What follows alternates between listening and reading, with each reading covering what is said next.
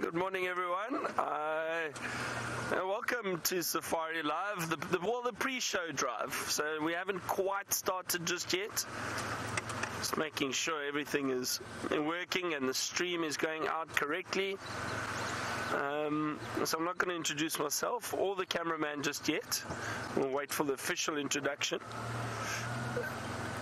And um, I hope you're all having a wonderful day or evening, wherever you are in the world, and or morning. Where's that little bird? So, um, yeah, no cats yesterday, interestingly enough. Well, it's about time. We've been very, very spoilt, I think, with cats. So um, we're just going to have to work a bit harder to find some cats today. Um, but also elephants. I'd love to see some elephants. I haven't seen elephant for a long time, so that's going to be my plan or aim is just to find some elephant. But I'm probably going to head towards Cheetah Plains. It's a very cloudy morning, actually, very overcast and cloudy. So the temperature's a bit cooler, which is nice. About 22 degrees Celsius or 72 degrees Fahrenheit. Mm, it's nice to have cool weather like this for a change.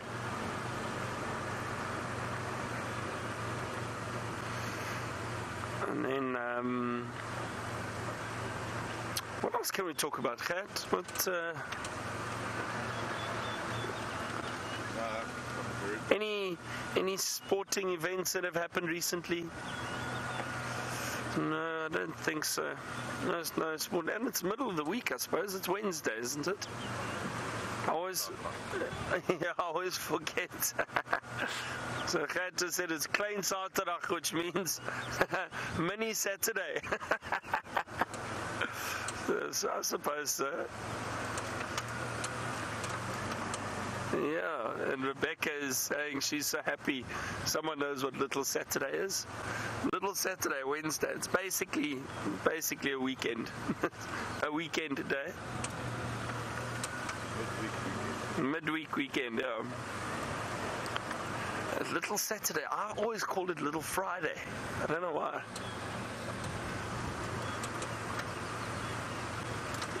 But we'll stick to Little Saturday. Well, Little Friday, Rebecca. I don't know how why it makes sense or not. It's just Little Friday.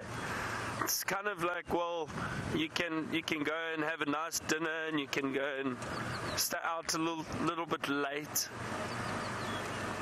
No, it's, a bit mini Friday, so you can go out and you can just have some fun, and you can, you know, if you stay out late and perhaps have one or two drinks, it's not a bad thing.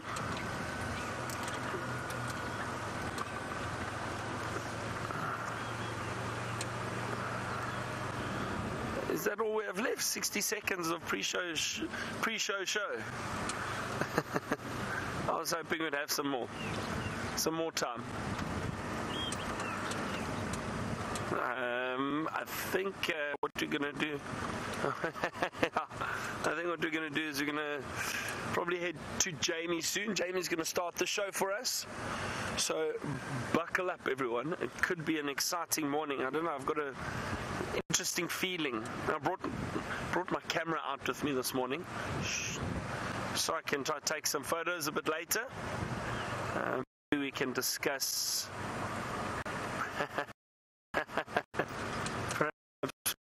discuss things. Those of you are interested in keen photographers, but I'm going to say goodbye for now. We're going to head to Jamie shortly. We'll see you all just now.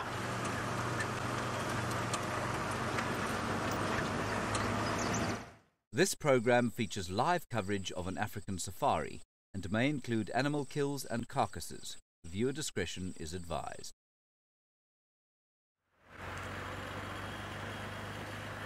Good morning and welcome to another adventure live from the heart of the African bush. This is Safari Live. Ready.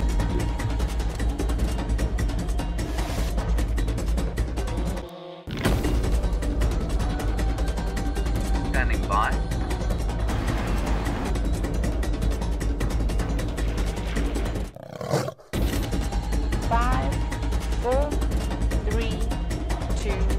one.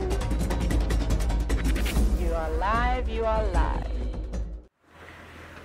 And a very good morning to all of you and welcome on the Sunrise Safari. My name is Jamie and this morning I have Viam on camera with me and we are coming to you live from a place called Djuma Private Game Reserve which is in the Greater Kruger National Park area of South Africa. Now not only are we live but we're also interactive which means that you can send through your questions and you can do that on hashtag Safari Live on Twitter or you can email through to uh, questions at wildearth.tv. And of course, as always, we have the lovely Rebecca and Jerry in final control and a whole team of people to make sure that the wheels stay on in on these live broadcasts. Uh, yesterday afternoon, the Sunset Safari, the cat streak was officially broken. There was much sadness involved in the whole process. We had actually gone for a record unbroken. Okay, look, there's a there's a matter of some debate, um, just in terms of time zones and so on, but by our calculations, a matter of at least 80 days that we had done with solid seeing cats each and every single day. Big cats, sometimes small cats in the form of lion cubs or leopard cubs. All in all, we had done relatively well. Unfortunately, Yesterday, the cats eluded us and the cat streak was broken at 80 days. Uh, let's see if we can't this afternoon, morning. I don't know what's wrong with me in the times of day. This morning, let's see if we can't get our cat streak back up and running. But before we go about looking for the cats, I've done some, I've come across, because this is something I've been wanting to do for a long time, I've come through to the northern boundary of Djuma, so the left and the property on my left, whilst there are no fences between us, is just outside of our traverse area. I've come through to see whether or not, ooh, squeaky brakes, I can see or hear any sign of the ground hornbills, and that's because I think I hear them every single morning calling from here. And I'm sort of hoping that perhaps there is a nest site somewhere between us and Buffelshoek. I'm just sitting for a moment to listen. And perhaps they're having a lazy morning because I don't hear any sounds of the deep drumming call of the ground hornbill, the doot doot doot doot. Doot doot doot doot doot. Is a quite a cold and not cold, but it's a cloudy morning. It's 22 degrees this morning, centigrade, which is around 71 in Fahrenheit. So relatively, it's a lot cooler than it was yesterday afternoon on the Sunset Safari. Yesterday afternoon Sunset Safari was very hot and humid and sweaty. This morning it's still sweaty, but at least the temperature has dropped ever so slightly. And there seems to be that big bank of clouds that built up yesterday evening. Right, there's a spider web dangling from my hat and keeps catching my eye. I think it's between me and the camera actually. There we go. Got it all. That's the that's the spider web hand movement. It seems as though that bank of cloud has brought some relief from the temperatures. Of course, it's not just myself out here. Uh, Byron is out, Steph will be out a little bit later. But for now, let us head over to Byron so that he can say a very good morning.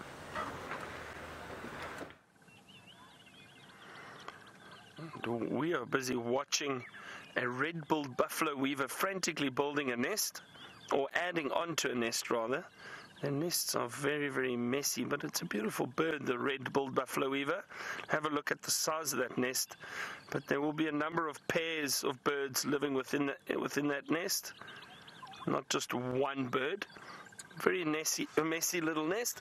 But good morning, everyone. My name is Byron, and on camera with me this morning is Hat. And uh, we did the pre-show drive, so some of you may have joined us then already. And it's great to be out here again this morning. Very, very cool morning. So I'm hoping that we do get some activity from animals moving around, maybe a lot longer into the morning if it is a bit cooler. Um, our plan for this morning is we are going to head towards Cheetah Plains. Um, go and have a look, check around that area I haven't been down there for quite some time. Um, so who knows? Maybe we, we get lucky with something interesting. I'd like to find some elephant. Um, just because I haven't seen them for quite some time, for a few days. So, love to spend some time with some Ellies. So, who knows? We will try our best and see.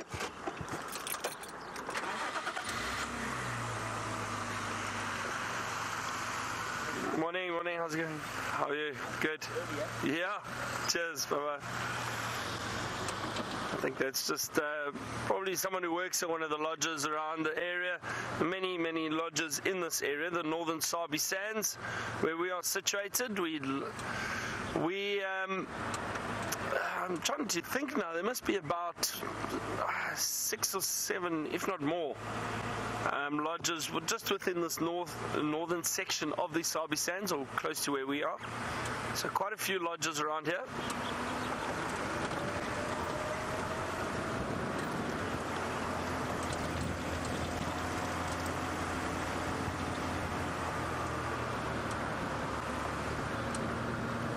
and um, so there should be quite a few people out on game drive this morning or on safari this morning.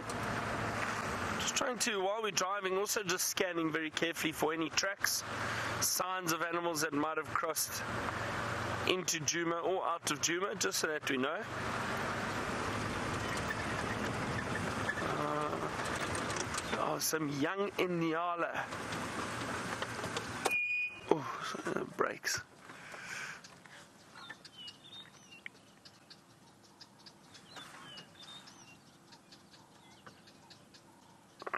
Look at that beautiful male Inyala, but that looks like a young-ish one. Um, I just need him to lift his head again. Yeah, they will. They will still get much bigger. There's another one off to the right, also young-ish, almost almost full-grown though.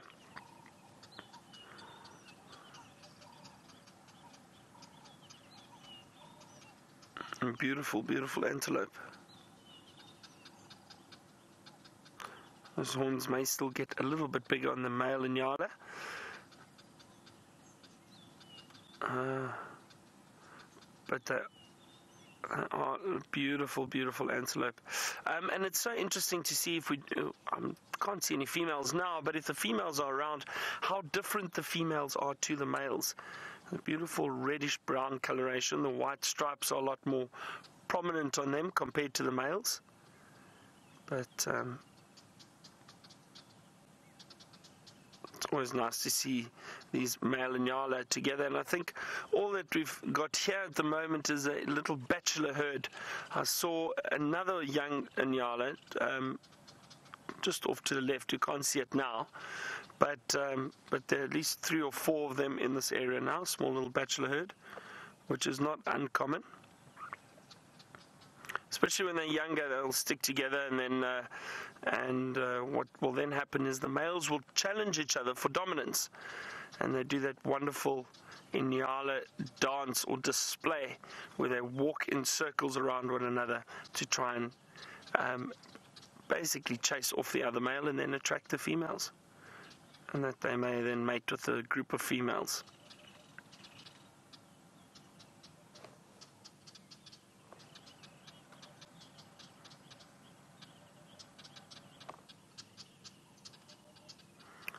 Such a wonderful morning. Some birds calling around us. Just trying to see if I can see them. You know what they are? Wonderful red-backed shrike. Um, you might actually see it if you have a look. This little tree just off to the right of the road, and the top little branch. there it flies. As I said that, it flew away do apologize. Little redback shrike. Why it's so interesting is because these little redback shrikes migrate so far. Some of them have been known to fly all the way to Russia. Uh, there goes another one. And it's just flying off. Unfortunately, flying very, very quickly. But um, they, they, I mean, they, they do fly incredible distances when they migrate. And um, east, like I said, Eastern Europe, which is which is just amazing for a tiny bird. I'll show you a picture of one. Uh, let me quickly show you. I'll get my book out.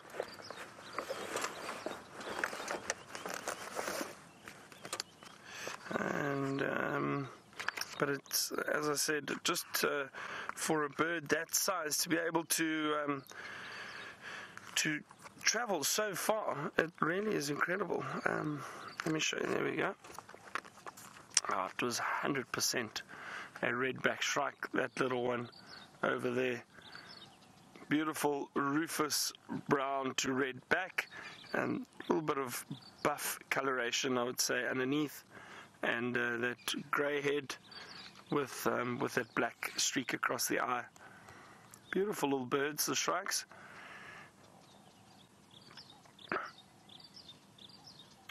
Yeah, so this this book, however, doesn't really give too much information on uh, on where they migrate to, but I've got my app here, and I'd like to just have a look and see if they've got any other information on where they where they actually migrate to. These these little bird apps are, are incredible, and let's just have a look here quickly, and they're fairly easy to use. But I, I must admit, um, the bird apps I feel uh, better if you do know birding or if you are a keen birder. Always start with a book and always have a book handy. But um, but once you get into it, then the, the apps do help um, if you need additional information. Let me just see if they've got distribution breeds throughout most of um, Europe and Western Asia, north to Scandinavia, south to Israel. Isn't that incredible? How far they and then and then they migrate then half um, then extent of non-breeding range, so they don't breed down here. They only breed in the northern hemisphere, by the sounds of things, and then um, and then they come all the way down to southern Africa and all the way down to South Africa, which is incredible, amazing that these little birds can fly so far. All right, we're going to continue towards Cheetah Plains.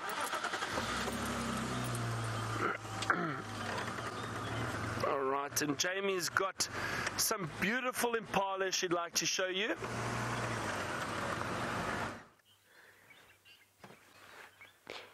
Beautiful male impala, and it seems as though a great deal of the animals are still fast asleep, if not in bed, then at least hidden behind the trees. But luckily, we've managed to encounter this bachelor herd of impala rams. And it's always interesting and thoroughly entertaining watching the, the rams at the moment. The females are all pregnant, and as a result, the males have become slightly confused and gone into what's known as the false rut. So they keep fighting each other. They've split up into their standard division of breeding herds and then these little bachelor groups. Um, in the normal seasons, the bachelors will rejoin with the rest of the impala herd and everybody gets along swimmingly. But at this time of year, there is division in the ranks. And the males spend their times chasing the females around and fighting with each other, despite the fact that there is no chance of any of them having a chance to mate with a female. This one's got really nice white eye paint over his eyes. Now, impala is a unique animal, and one of the reasons that it is unique is, of course, those glands that sit on the back legs. So those, those black patches that you're seeing, not just spe- special pretty colouring, they do in fact hide what's known as the metatarsal gland.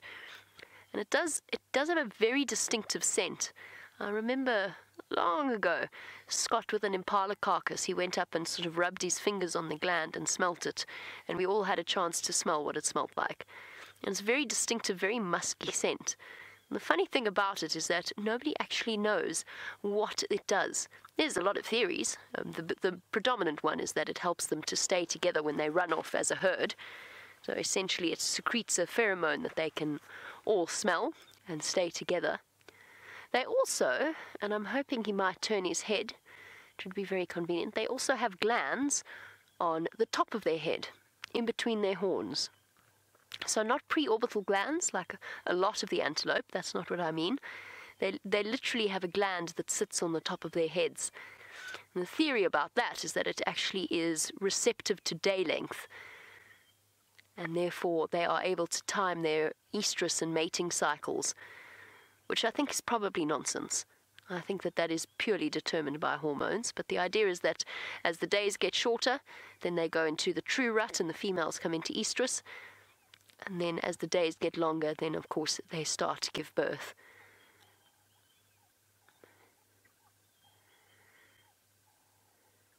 Nibbling away quite happily, with a very cheerful sounding bird in the background. Sounds like a scrub robin. It's quite a beautiful morning. I was going to say something about. Oh, yes, I remember what I was going to say because I saw it again on social media this morning. There is a myth about impala that they that the females will hold back their pregnancy or hold back their births until the seasons are right. Animals can't do that. They can't, they cannot control their gestation periods. The only reason I think that we're going to see many late births is because of the conditions that the animals have been under. So, the drought and so on. What it would have done is it would have meant that there was a, a slightly less successful rate in terms of fertilization when there was the true rut, and that meant that the, the females came into estrus or heat again, and the males mated with them again. So it's not. It's one of those very common misconceptions. It's one of those guiding rumors that have been around, has been around as long as I've been alive. I remember being told this when I was eight years old in the Pilanesberg, that impalas will hold back their pregnancy until the rains fall. They can't do that. Gestation period is a gestation period. You can't. Uh, those of you who have been mothers and who have been pregnant before, you'll know. You, when the baby wants to come, the baby's going to come, and it will be when it's ready. They, absolutely cannot change when they give birth. Okay, little boys, we'll leave you to go. Sorry, I'm laughing. They're a little bit jumpy.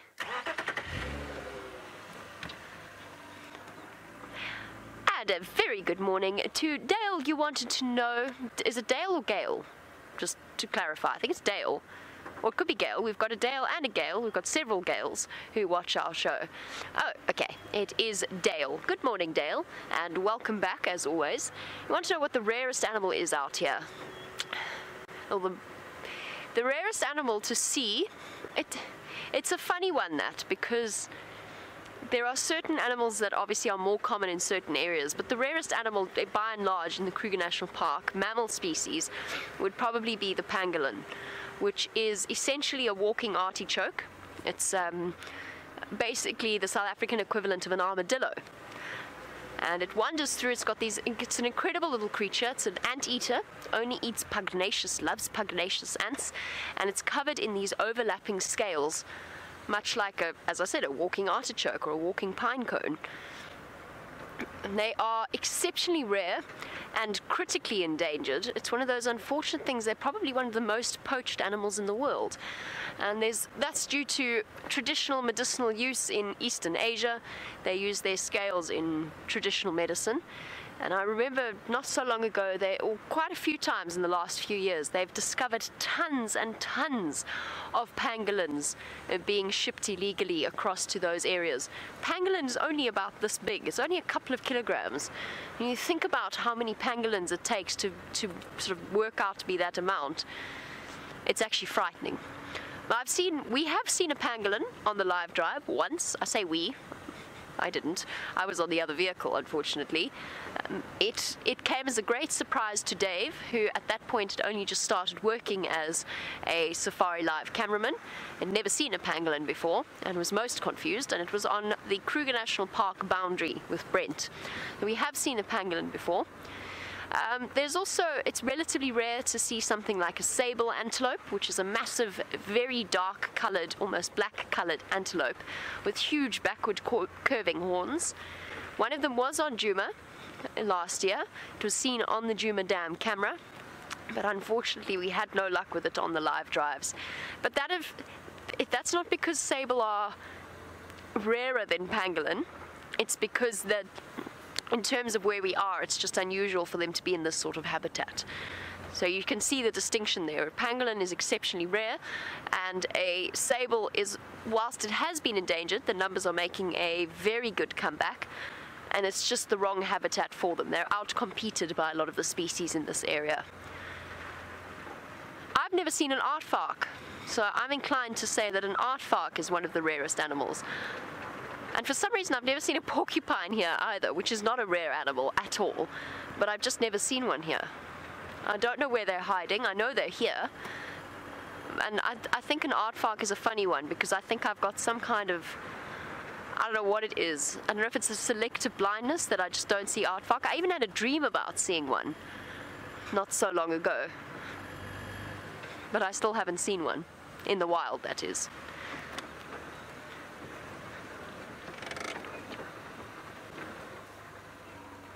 Uh, David, on the subject of pangolin, fantastic little creatures, and I've been fortunate enough to see them a few times, and it's always incredibly exciting. We don't have giant pangolin. Of course, there are different species in the eh, throughout the world. Um, right through to Asia, there's tree climbing pangolins and all sorts of fascinating little creatures, all part of the pangolin. I've got to try and remember the order now. It'll come back to me. It will come back to me. But no, our pangolins are just standard African pangolins, and there's only one species that we get here. As you go further north into Africa, you'll start to get all kinds of unusual and interesting pangolins, and then, of course, into Asia as well. So there's a couple, I can't remember exactly how many different species of pangolin there are. Uh, perhaps those of you with Google at your fingertips can let me know just how many species there are. Remember, I've, I've read it recently, I've read it on a poster, but I don't want to guess and give you the wrong number. But there are lots of different species of pangolin. Males are a lot bigger than the females, and the females, this is this is something it's a dream of mine to see, and I've never seen it, is because the females carry their babies on their backs. So you get the pangolin, and then you get the little pangolin gripping on the top of it. I've never seen that in the wild, and it's a dream to see it. At the moment, though, it would be a dream to see any animal. I don't know where they all are. They're asleep still.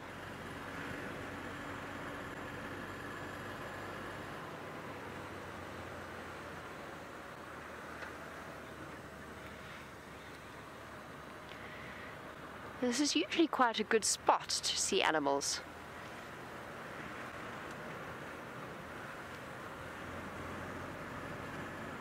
Uh, Tinder, you wanted to know where the animals hide. I'd love to know where when it's raining. Um, they don't. They will cluster in some dense vegetation, but for the most part, they're not terribly bothered by it. If it's a real sort of uh, downpour deluge with the rain driving down and the wind blowing the animals might go and lie down in dense vegetation just to try and sort of shelter themselves from it. Uh, the big cats actually are often more mobile in that sort of weather. It's good hunting weather for them and they don't get as hot so they're often out and about in that sort of weather so most of the animals out here are not too concerned with hiding away. If there is a big lightning storm, this is something that I've just seen from personal observation, the elephants of the area, and I've seen it happen once, they seem to be able, they seem to know when there's going to be a massive lightning strike. And that, that comes purely from having seen a very peaceful herd. It was almost a day like today. It was a sort of a nondescript cloudy day. Didn't seem like a thunderstorm day at all and they were all the elephants were all standing in the riverbed. It was drizzling slightly. They were feeding quite happily, nice and cool. And then, without warning, there was this deep, low rumble from one of the females, and they all ran. They disappeared so quickly. What have you all been? Ah, oh, going to try and show you a roller that was feeding on some termites, but they've flown off.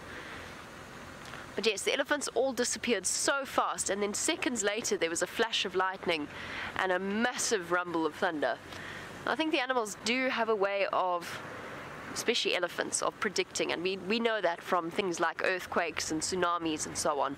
The animals do have an, a better instinct than we do in terms of predicting the weather.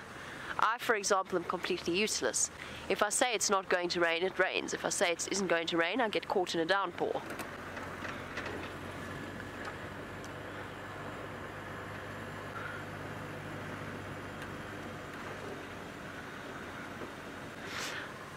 Since all of my animals are hiding, it seems as though Byron has had slightly more success. Let's go over to him and see what he's found.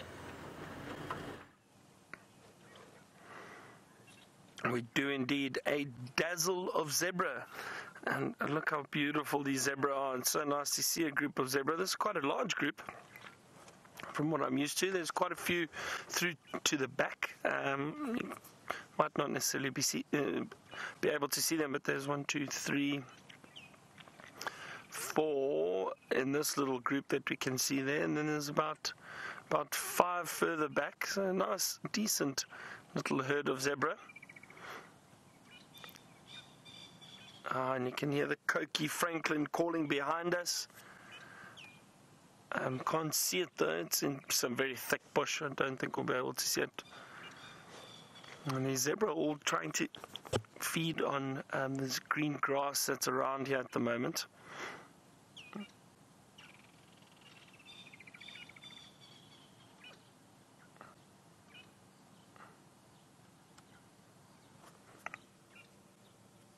Oh, beautiful, beautiful animals.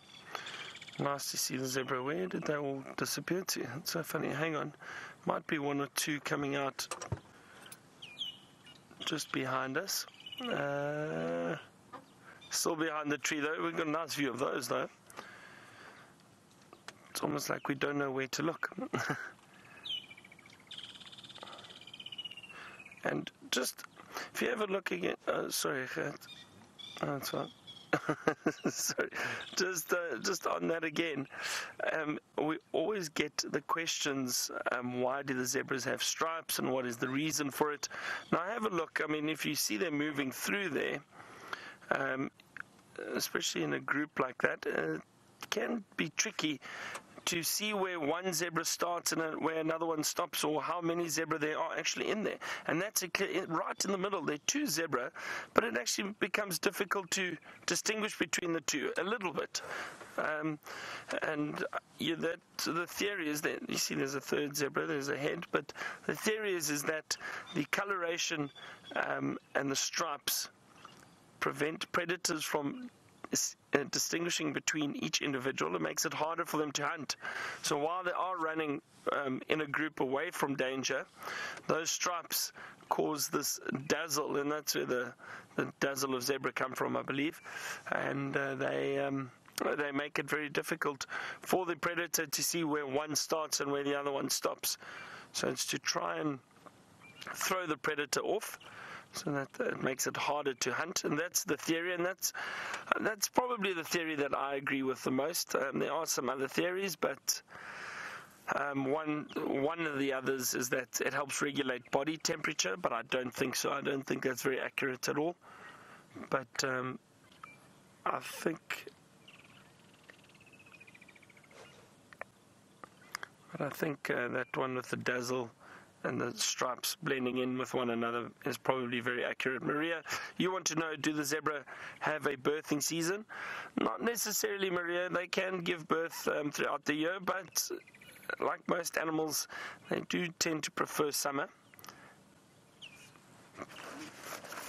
But they, they don't necessarily have a specific season.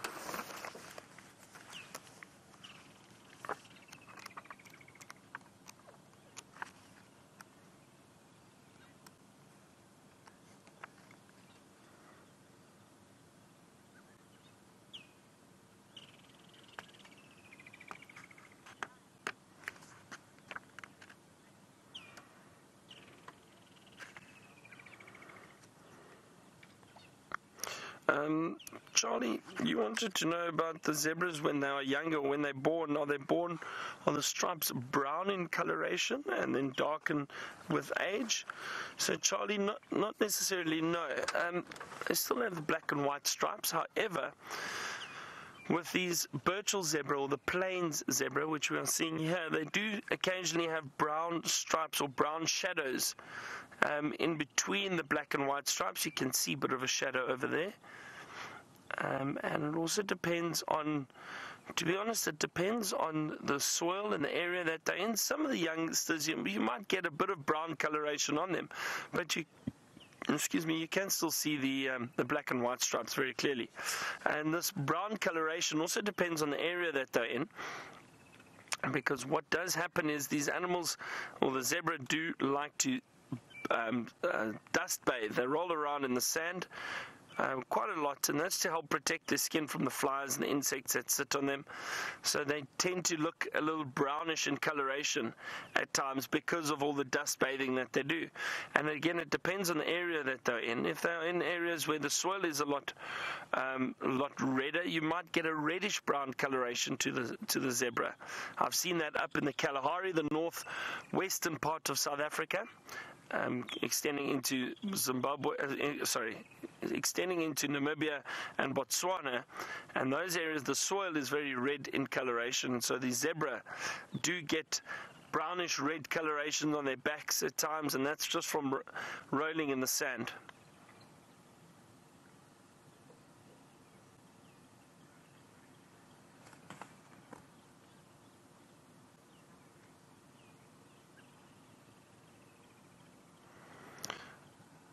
Uh, Ilana, good morning, Ilana. You apparently 13 years old. Lovely to have you watching. Um, always nice when we have our younger viewers sending in questions and hopefully learning a lot. And you would like to know if um, the zebra are considered to be antelope. And no, they're not. Not at all. The zebra are actually very closely related to horses. Uh, so they are not antelope at all. They're a completely different family.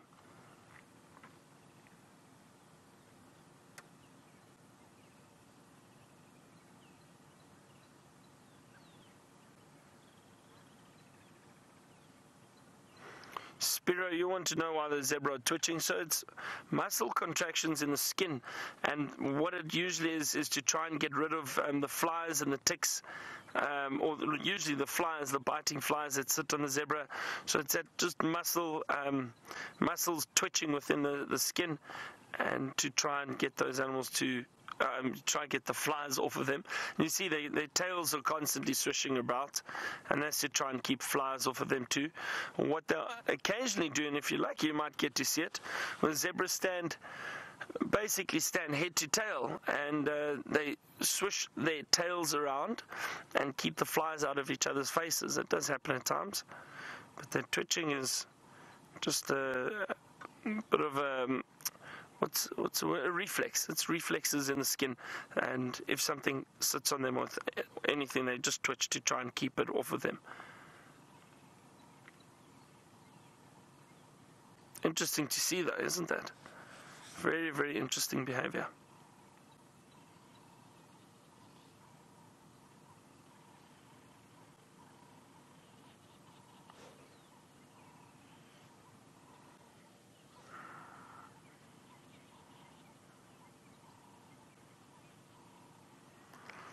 Lance, you want to know if the zebra are prone to mange? Um, now, Lance, I actually don't know. Um, and the reason I say I've I've never seen zebra with mange out in these areas, um, so I don't know if they if they are able to get it.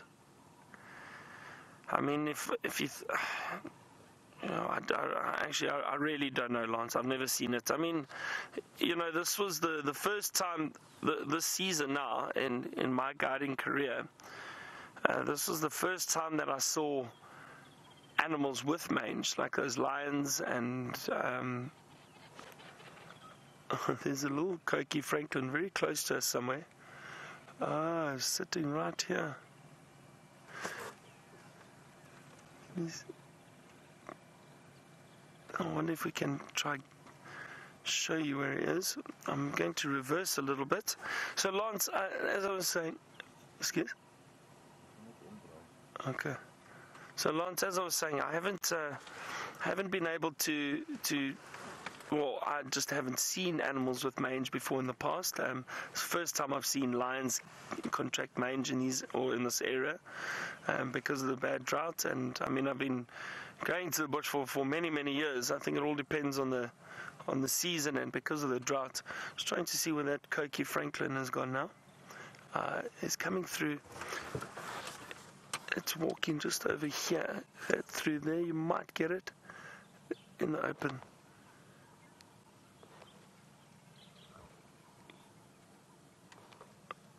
Wait. there we go. There's the Coqui francolin. Look at that. Wonderful. It's not a francolin that we see very often. We hear them a lot, but we don't always see them. And you can see how secretive they are running through the scrub, trying to hide away. Uh, look at that. Maybe we're lucky and it comes running across the road. Let's have a look. And it, if I know these birds, it might be a very quick dart across the road. Let's see. Here it comes. My head. Let's see. There it is. Uh, there it goes. Wonderful, beautiful bird, beautiful little francolin. Look at that, those markings, that reddish brown head, rufous coloured head, and the there it goes.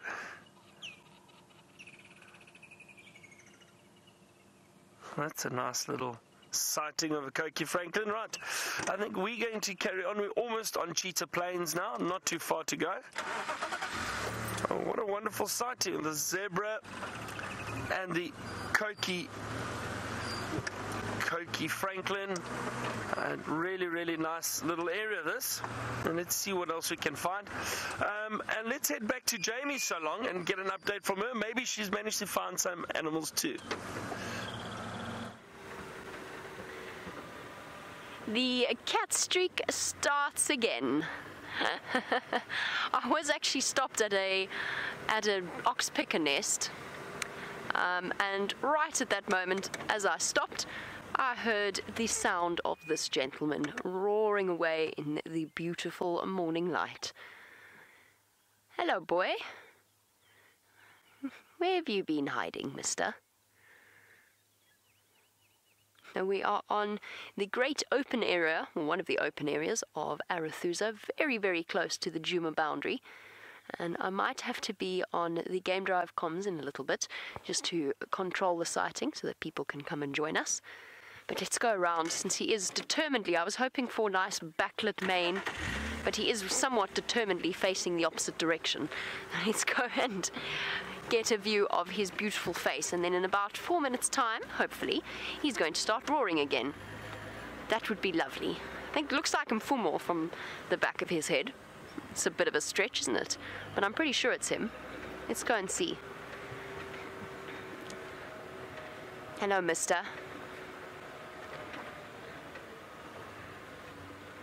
Someone's looking a little droody this morning. and very, very, very full. He's obviously been feeding on something. So, for our new viewers, this is one of the dominant male lions of this area. So, they are all four of them collectively known as the Birmingham Boys, or else the Gowrie males. And they were once five members strong. Very sadly, they lost a member a couple of months ago, and they one of their youngest members and he is panting heavily. Now, he's obviously got one very full belly. But yes, the Birmingham boys came in a year and a half ago. Um, as I said, five of them. The youngest one, one of the youngest ones, actually eventually died of injuries related to what we think was a failed buffalo hunt, or maybe a successful buffalo hunt. Hello, boy. panting away. He's been panting so much that he's actually worked up quite the saliva amount all over his chin. I think he's going to give us another awesome display of his roaring ability. The Birmingham boys have been quite scattered. The Nkuhumas, one of the prides that we see the most regularly, and one of the prides that they are dominant over, have been on a property that's outside of our traverse area. So they have been on Simbambili. And as a result, the well, at least one of the male lions has been with them the entire time. Now, the last time we saw two lions, it was Amber Eyes and Mfumo, and they were looked like they were courting. I wonder why this guy's on his own. He might just have split away from the rest of the group. Male lions, especially in dominant coalitions, often move about, basically roaring, displaying, and making sure that the other males in the area know that they are dominant, that this is their patch, and that they are not to be trifled with. So they will split up and divide and conquer, essentially, in order to see or in order to, to make sure that they cover ground efficiently, and then they'll rejoin once again. And he may well be roaring as a way of letting everybody know where he is and also to contact call and to figure out where his buddies are. Where were you, mister? When we needed you yesterday for our cat streak. Of course, these are completely wild animals, so they don't necessarily. Oh, goodness, sorry. they don't necessarily keep to our schedule.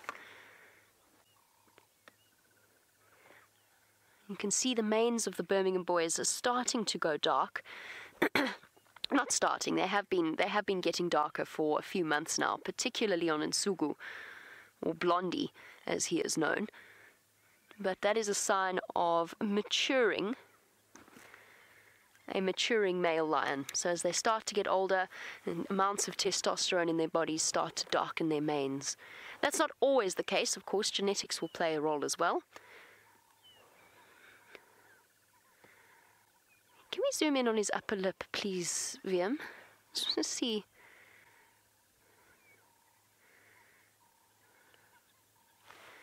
Sorry, hold on one moment, everybody. I just need to jump on the Game Drive channel.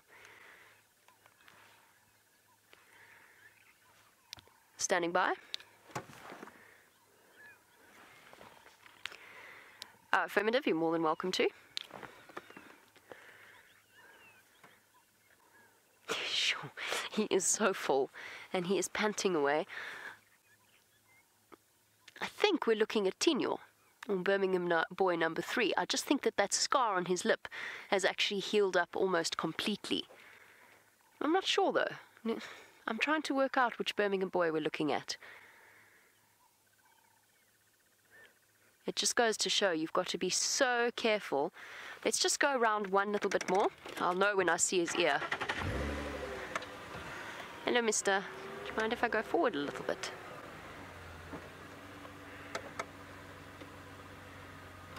If you could very kindly turn your head so I can see your right ear because that definitely won't have healed. Tinyo has a half moon out of the top of his right ear. Now that would be a defining feature of this particular male line. It seems as though Tinyo, whose original name means tooth, or his name means tooth, and that was because he had a split lip, which you could actually see his canine through when he closed his mouth. Obviously, you can see his canines quite clearly now. He's giving us a beautiful view of them. He's also giving us a really nice view of the spurs on his tongue, now that I look at it.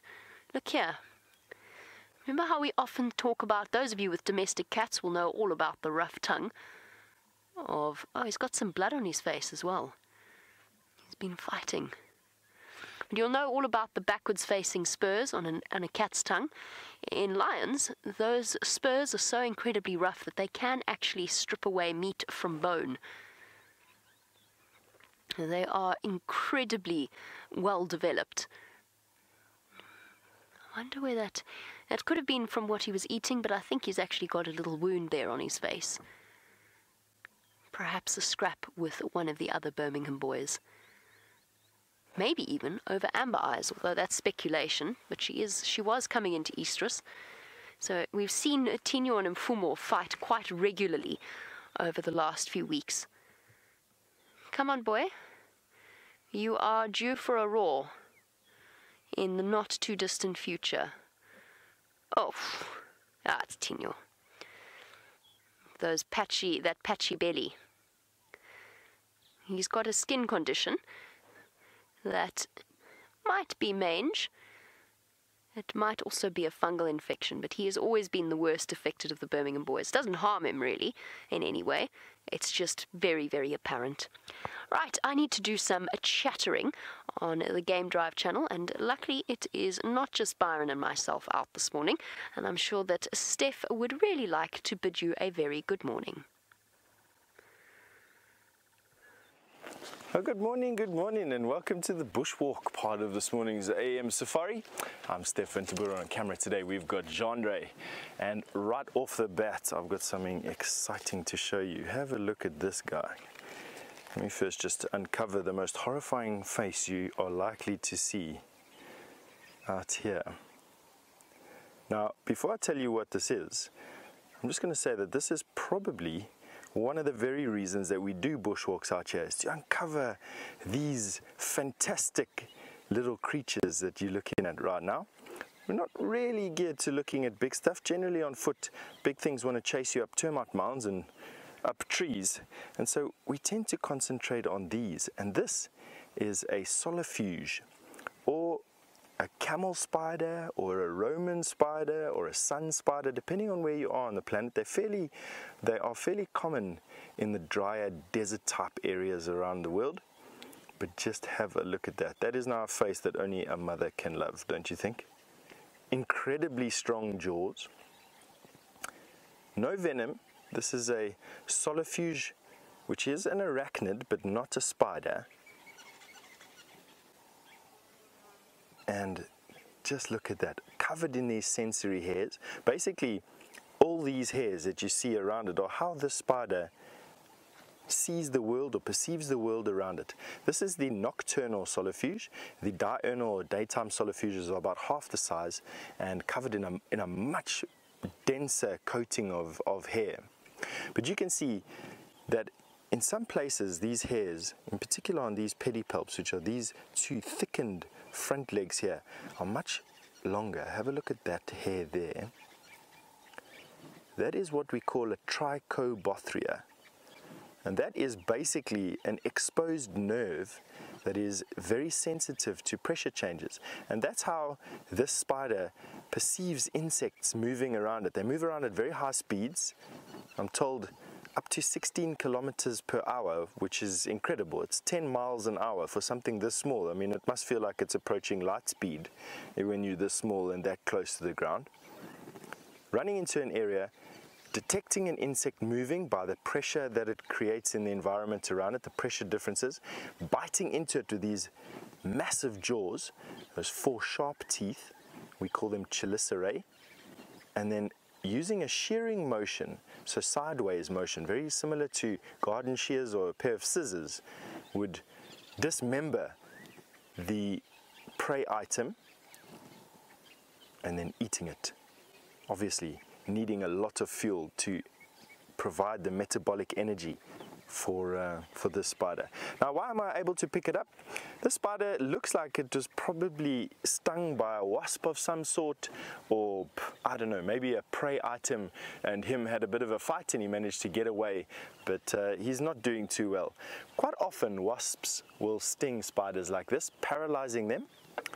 The wasp then either cleans off all the non-essential heavy items like the legs and the head, taking the rest of the body away, laying an egg on it, and while this animal is still alive, basically will eat it, the larvae of the wasp, using the body of the spider to gain enough energy to metamorphosize into a wasp. Now, on that pretty note, we're going to send you to something infinitely pretty, or, prettier than this at least anyway, with Jamie and that lion.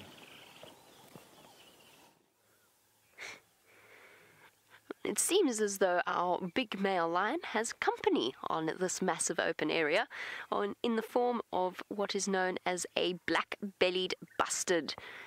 You can see it is most definitely a male, with those, that black extending all the way from the bottom of the tail right to underneath his chin. So this is the bird that makes a sound like a champagne cork being popped out of the bottle the one that Herbie can imitate so very well. It's a whistle and then a fantastic little, almost comical pop at the end. You can see a bird built for subtlety and camouflage, at least on top, and then, of course, the black underbelly for displaying purposes.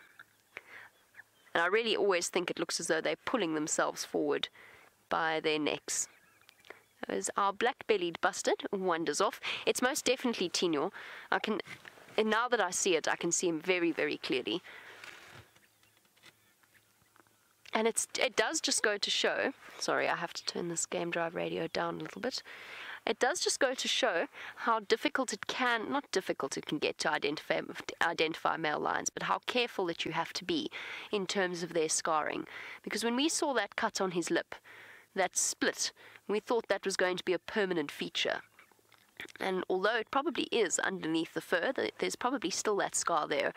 It has healed up and disappeared almost completely, and it's probably only really slightly apparent when he closes his mouth. There's just a, the skin is just that little bit tighter around that particular part of him. For our new viewers, a couple of months ago, a good few months ago now, um, Tinyo had a really nasty injury. It was split open completely, and it looked as though it was very, very painful for him. It was making his whole face twitch every time he moved it or every time a fly sat near it. Their immune system of these creatures is so incredibly powerful that he was able to heal up. He really does look as though he swallowed something whole. Perhaps a small buffalo all to himself. His belly is so large he actually can't find a comfortable place to sit, and that's why he's panting so heavily. It's not because he's ill, he's absolutely fine, and it's very, very common to see this sort of breathing for a big cat that has overindulged. Uh, think of it as um, sort of post big Sunday lunch or something similar. And the saliva and the froth is relatively normal. We'll see it with all of the big cats. Come on, boy. One more roar for us. I know we just missed your last one.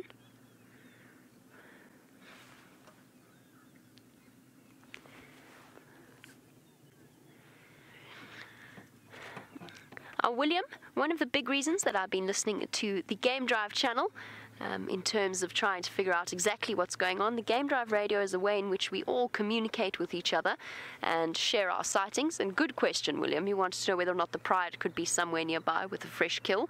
Probably, um, although it sounds as though they're around Simbambili. Sorry, bear with me one moment. Morning, morning. Hi, guys. Good, thanks, Roy. How are you? So they did have a buffalo kill on Simbambili, and it sounds as though the guys are tracking them. It looks as though they might still be around Simbambili, which is just to the north of us. We're not far from the Simbambili boundary. Unfortunately, that is outside of our traverse area.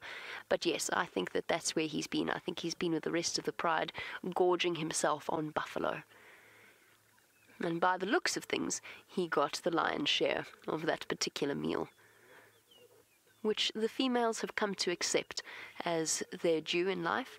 When a male is present, they know that they are going to struggle to get any food until he lets them. And the male lion usually moves in first, feeds first, and consumes most of the meal. The females will come, the cubs can share with him because they are part of his bloodline, uh, but, or at least he believes they are, and they probably are. But the females will have to wait until he's done. A couple of fresh scars, fresh wounds on his face. So I think he has had a little bit of a confrontation, but that's basically polite dinner conversation for lions. They very often fight each other. Looks as though somebody's trimmed his whiskers. that's not possible, of course, but it does look as though the ends of them are very shortened. Oh, are we thinking about roaring or are we just very hot? I think he's just very hot. Oh, the reason he's panting in the way that he he is, apart from the fact that his belly is so full that it's pushing against his diaphragm, and therefore making deep breaths a little bit harder. The reason that he's panting in the way that he is is that he's hot. He is really, really very hot.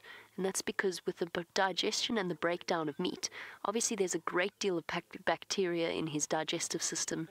It's not a very, it's healthy for a lion, but it's not a very hygienic or healthy place inside his stomach and his intestines. And as a result, all of that breakdown of the meat is redu- releasing a huge amount of heat. And that's what's making him so very, very warm. Shame his cheek's a bit sore. He's rubbing it. That's how he spread blood down on, onto his mane. See him rubbing up against it. Licking his paws and then rubbing up against that slight puncture wound. It's nothing too serious. He'll heal up in a couple of days. As I've mentioned before, these lions have had far worse in the way of injuries. But obviously, he can't reach across there and lick it, so now he's worrying at it with his leg. And that's usually what keeps these injuries open, actually. We've seen it with Mfumo on his face. There you can see he's starting to spread the blood around a little bit. Shame boy. If you keep rubbing it, it's not going to heal. I'm not going to heal as easily.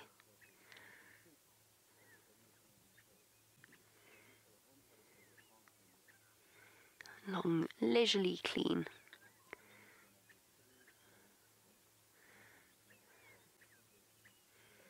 Oh, yawn.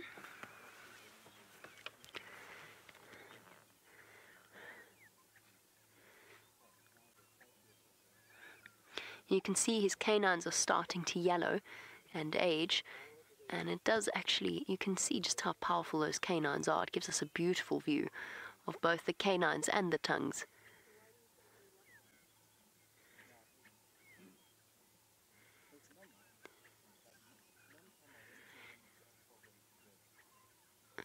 Uh, unfortunately, we are going to have to leave him in a not not too distant future. We're going to have to make space for some of the other vehicles. As, soon as another vehicle arrives, then it will be time for us to move off. It sounds as though they're relatively close, but I'll I'll let you know. We've got a few more minutes with him at least. I'm hoping we might get a roar before we have to leave. So what that means for our new viewers is that out here in order to not pressure the animals in any way, it's limited to three vehicles with the animal at any one time, just to make sure that we don't abuse the privilege of being in their space and having these opportunities to see them. And of course, everybody, there are lots of lodges around here and their guests that would love to enjoy this experience. So once they do start arriving, then we will leave and give them that opportunity. Come on, boy. One roar for us to solidly start our cat streak again.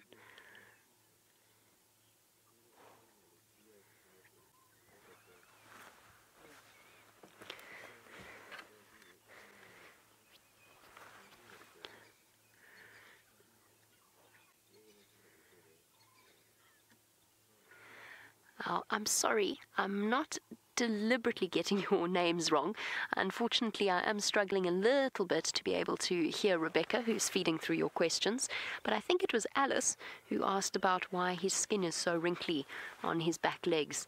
Alice, it's just, I think it's Alice, and my apologies if it's not Alice or it's something like Daniel or Heath or I'm struggling to hear. Um, the reason his skin is so wrinkly there is just because that's the way that he's lying. So once it's it's just sort of curled up because he's his legs are folded in, so his skin is wrinkly around there. Nothing to worry about him. He might be a little bit dehydrated, and that might could be what's sort of exacerbating the wrinkles, but I don't think so. I think it's just the position of his legs.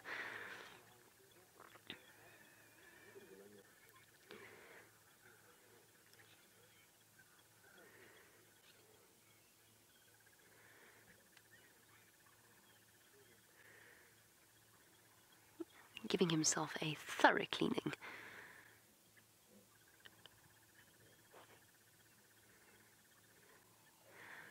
Okay. Um, just a message for Rebecca, and I'm sorry that we have to do this, but of course I can't hear at all. Um, Rebecca, I'm just going to switch my phone on so that you can contact me that way.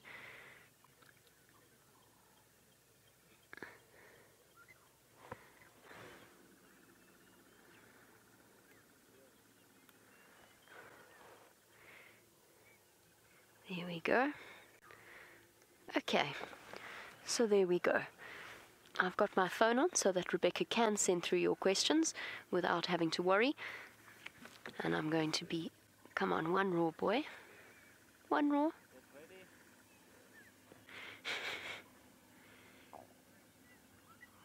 one roar for us before we have to go. Or are we going to carry on? No, we're going to carry on with the foot cleaning.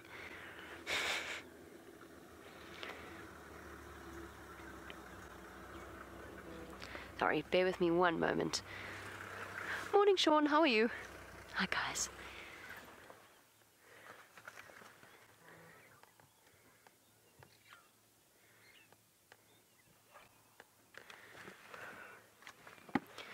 Station on standby one for Madoda Ngala. Come in.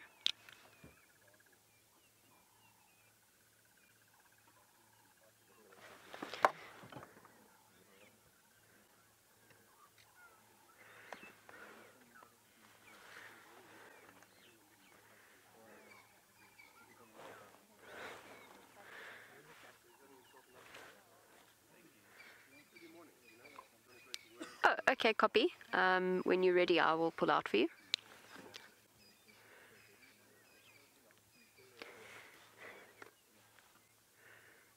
Okay. We can stay a few more minutes.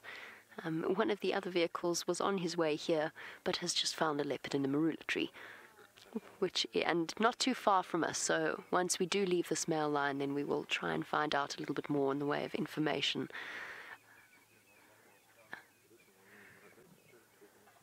Sorry, hold on one second. Hmm. Okay. Well, there we go. We might actually break our cat streak thoroughly by.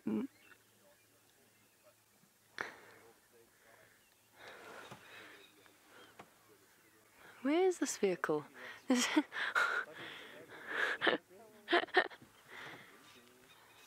Sorry. Ingwe. Here's, the leopard is within view, apparently, or at least his vehicle is within view. Unfortunately, there's a, a vehicle in our way, but there is, in fact, a leopard almost right next to this lion. Not right next to, he's a couple of hundred meters away. So we will be hopefully going to join that sighting in a not too distant future. Uh, Lance, a very good morning to you. Sorry about the distraction and all the conversations. Lance, you want to know what the function of whiskers are on a lion. Um, exactly the same as a cat or a dog, it forms a very, very important sensory function, particularly when they're hunting at night. Obviously, they've got incredible eyesight, but if they're racing through um, thick vegetation, chasing after something, having those projecting whiskers on either side of his face will also help him to protect his face and protect his eyes from branches and thorns and so on. So they just form a very important sensory function. The nerves are phenomenally sensitive, and if you have a look at a lion's skull, you will see just how much, um, in terms of anatomy, goes into the functioning of the whiskers and the muscles and the nerves around the mouth. So, if you look at a lion's skull, they've got a massive canal, um, a, a hole in their skull on either side of their cheekbones where the nerve centers run through. So, the nerves travel down to the whiskers, and there's a huge amount of sensory input that comes from them. So their whiskers are very, very sensitive. Now, it's been phenomenal to witness the change in these lions from the darkening of their noses and the sort of the yellowing of their canines right up to the the sort of the development of their manes. And Nature Fox, good morning to you. You want to know how long it takes for a lion's mane to form fully or to grow fully. It actually, funnily enough, depends on where you are in the different parts of Africa. So, in certain areas, lions take a great deal longer than others in terms of their full development of their manes. And I will get back to you on exactly which countries I, I remember, I can't remember off the top of my head the exact facts and figures, but in the Sabi Sand or in South Africa, it's probably going to take him another year or so for that mane to really be fully developed. But the change has been phenomenal. When Tinyo first entered onto the scene, his mane was a mohawk, essentially. Um, he barely had any hair between his ears and the top part of his mane, and it was blonde. Now, of course, there's, it's slowly darkening, spreading down the shoulders. But it does also depend upon the genetics of the animal. So some lions will have a more developed mane than others. Hairy Belly, for example, um, he had a mane that went all the way down to his belly, and that's probably one of the the biggest manes that has been, or one of the biggest manes in the Sabi Sand. I'm trying to see if I can see where this leopard is. Not far away at all.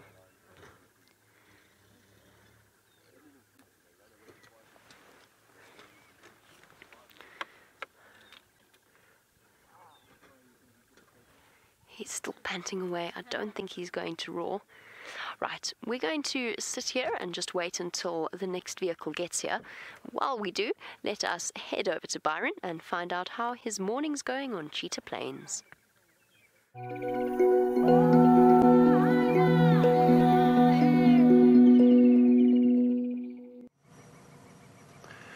So we've just got onto Cheetah Plains, everyone. We're driving around. We haven't had any sign of mammals yet or animals walking around. Not yet, though. We're going to head towards the clearings very soon. But I have seen some interesting birds, and we found something really interesting. Just off to our right, there's a little hole in that tree, in that tree stump. This is a um, an old marula, and there's a little hole there why that is so interesting is because that, oh, and we might get lucky. Let's just watch, and I'll. It will all unveil shortly. Let's have a look. I'm just going to keep my voice down a little bit. Here we go. It's a yellow-billed hornbill nest. Isn't that wonderful? That was perfect timing. He just, that was the male. He just came in and dropped some food off through the hole and I don't know if we'll be able to see any movement in there at the moment. But isn't that incredible? So, what happens is, and it's a fascinating story with the hornbills. So, the female, once the male and female have mated, the female goes into a little hole like that um, in the in the stump of a tree, um, and what she does is she then will help cover the, the hole, the entrance to the hole. The male will come and bring mud and they'll pack that hole closed. You can actually see there's a little bit of mud there. So they form just this little hole, little slit in the in the um, bark or in the, uh, the stem of the tree. And uh, the female then actually plucks her feathers and she uses that to lay down the base of the nest and she will then stay in there and, and lay the eggs. And then after a while, once the eggs have hatched, once she's incubated the eggs and the eggs have hatched, she will then look after those little chicks in there and keep them warm until the feathers all grow back um, and those little chicks grow their feathers and they're ready to leave the hole. But in the meantime, they rely completely on that male. And the male will fly to the nest daily and he'll drop food in for the female and feed them, and especially the chicks then once they get a little bit older. But isn't that incredible? Amazing. And um, it's wonderful that I got to show you this little nest now, the little hole of the hornbill. Not sure where that male is. He's probably gone off again to find some more food. But um, have a look again. It's really, really incredible. And I could see with binoculars, I could see a bit of movement in there. Um, probably the female, and or as you could see when the male came through, and um, and brought us some food. Let's just see. Maybe we get a little bit of movement in there. But there you can see the mud that's been packed around the edge.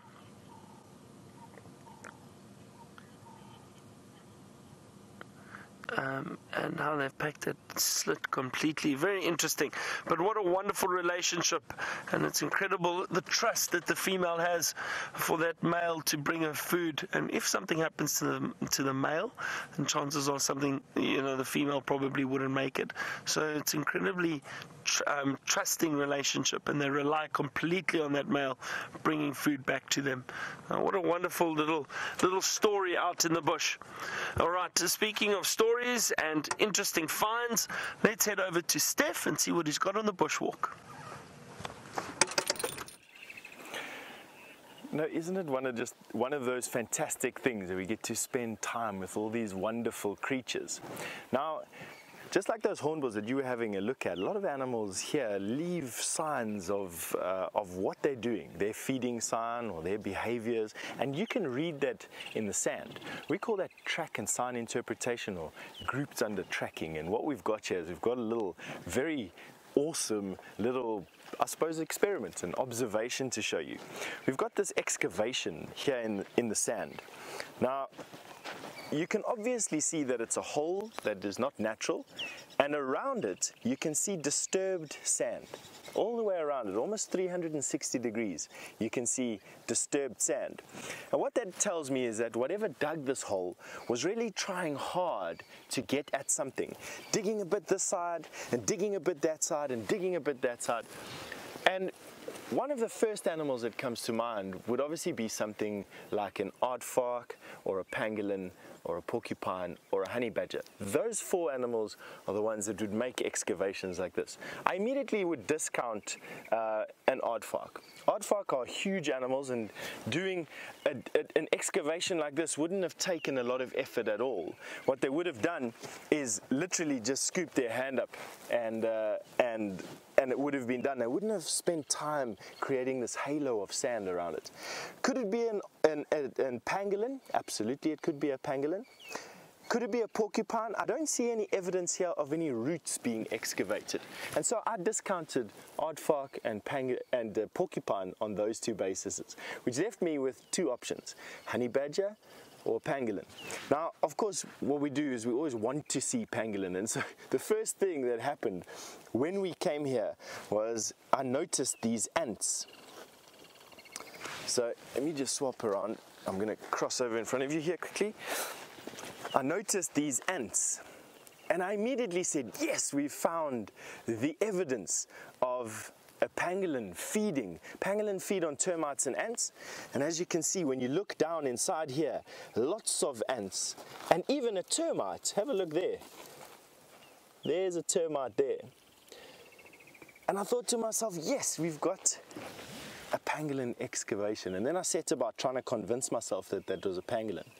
And as I had a look around here looking for some tracks, I noticed that here was a footprint and here was a footprint Slightly worrying to me though at this point was the fact that I could see one, two, three toes arrayed close together in a very distinctive pattern.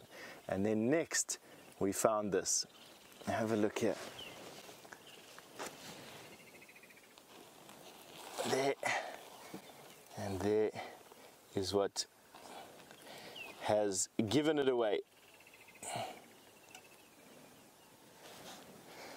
So that is what's left over after a honey badger dug here very quickly for a scorpion retreating down its burrow.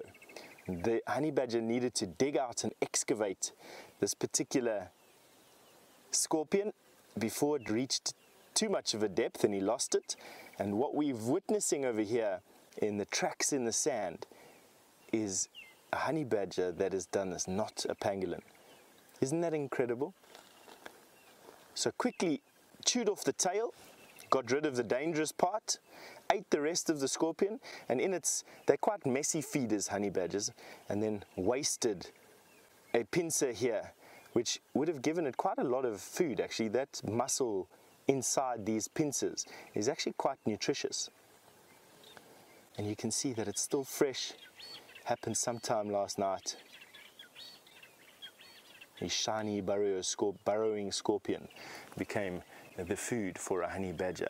So just to recap again, it looked like the excavations of the pangolin, but when you have a look at it in its entirety, that frenzied halo of sand around these excavations, the one track with those three toes quite close together, they're arrayed like the tips of my fingers, and then of course the leftover scorpion parts, that confirms that this is a honey badger. Even down to a bit of saliva that came out over here.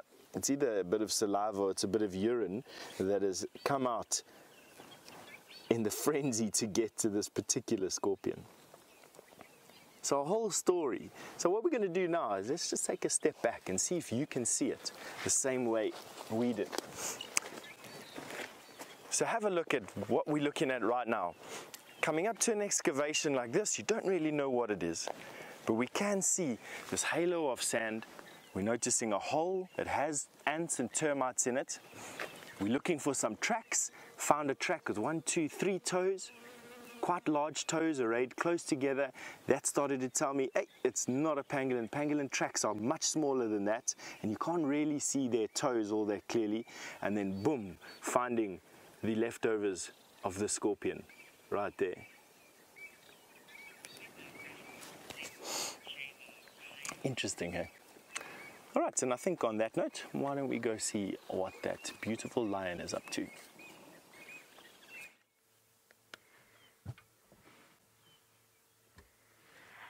And we are still with our massive male line. And I do apologize for the odd delay every now and again. I just have to wait for the messages to come through from Jerry to let me know whether or not we are live.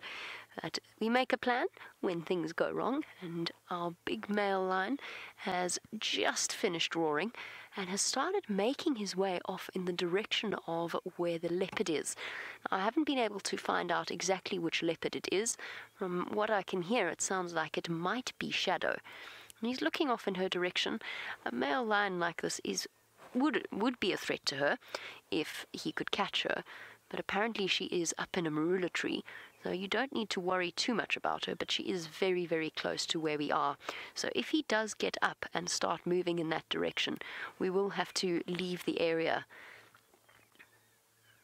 And just unfortunately, because there are three vehicles already with this leopard, um, we can't, we won't be able to follow him in and it's always an interesting, interesting managing the logistics of one moving sighting. And that's you know to, to being with an animal that's moving, um, when they're about to encounter another animal with people who are in that sighting, and there's very very stringent rules in terms of how we handle that and who actually essentially peels off away from that situation. And if you are with the animal that's moving, you it's you're in the position that you must leave if they are about to bump into another sighting.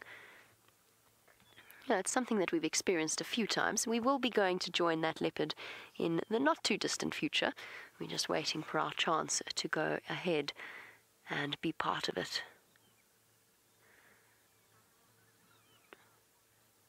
For now, though, I don't think he's interested in moving off too far. He did get up and move slightly, though, and when he did, I did see that he has quite a limp. His left front foot is sore, and we've seen the scars and injuries. I've seen those before, though, um, so I'm not quite sure what it is that's causing him discomfort. It might be a pulled tendon, it could be anything, and probably from the same skirmish that gave him the puncture in his face. So he is limping a little bit. He's actually feeling a little bit sorry for himself.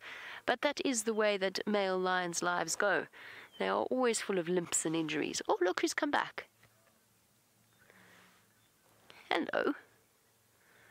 You return to us once again, black-bellied bustard.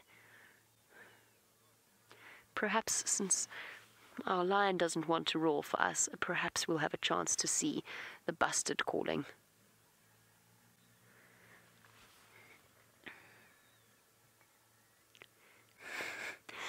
Such comical birds. The name is black-bellied bustard. It's B-U-S-T-A-R-D. So it is a bustard.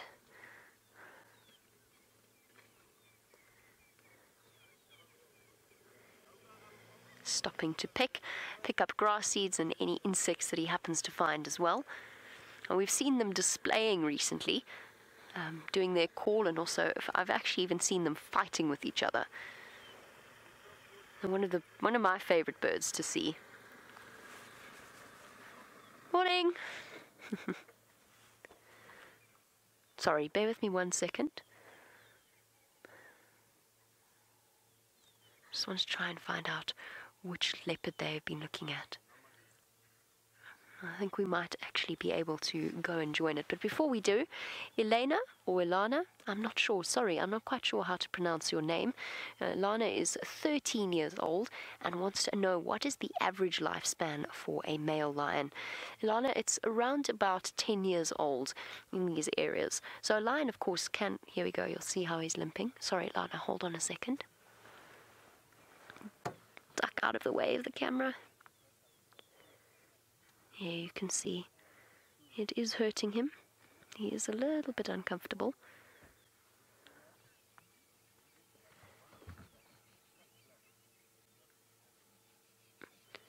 It's definitely his left front foot. You can see how he's landing heavily on his front right. Okay, he's going right across. Is he going to lie down again? Yep. Oh. Why did you even bother to move there?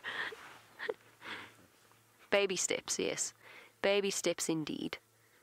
Flop down. Life's tough when you got such a full belly. Difficult to move off. It's difficult to motivate yourself to move. And of course, he's got that additional limp. I don't think it's anything to be too concerned about. Dominant male lions always have nicks and scratches and limps. Now, Alana, sorry, you wanted to know about how long an av- what an average male lifespan is, and I said 10 years. There will always be exceptions to that rule, of course. That's just an average, and of course, bear in mind that a lot of male lions are killed before they even reach.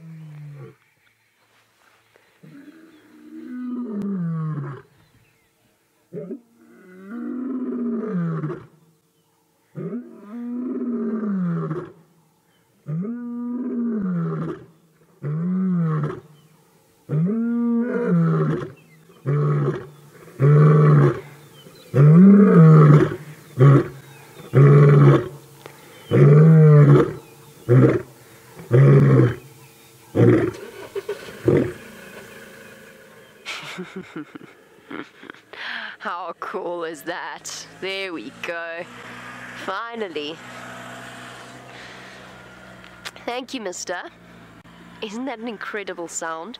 Uh, for those of you that have never had the opportunity to experience a moment like that in person, the vibrations of a lion's roar travel through the ground and you can actually feel them in your chest.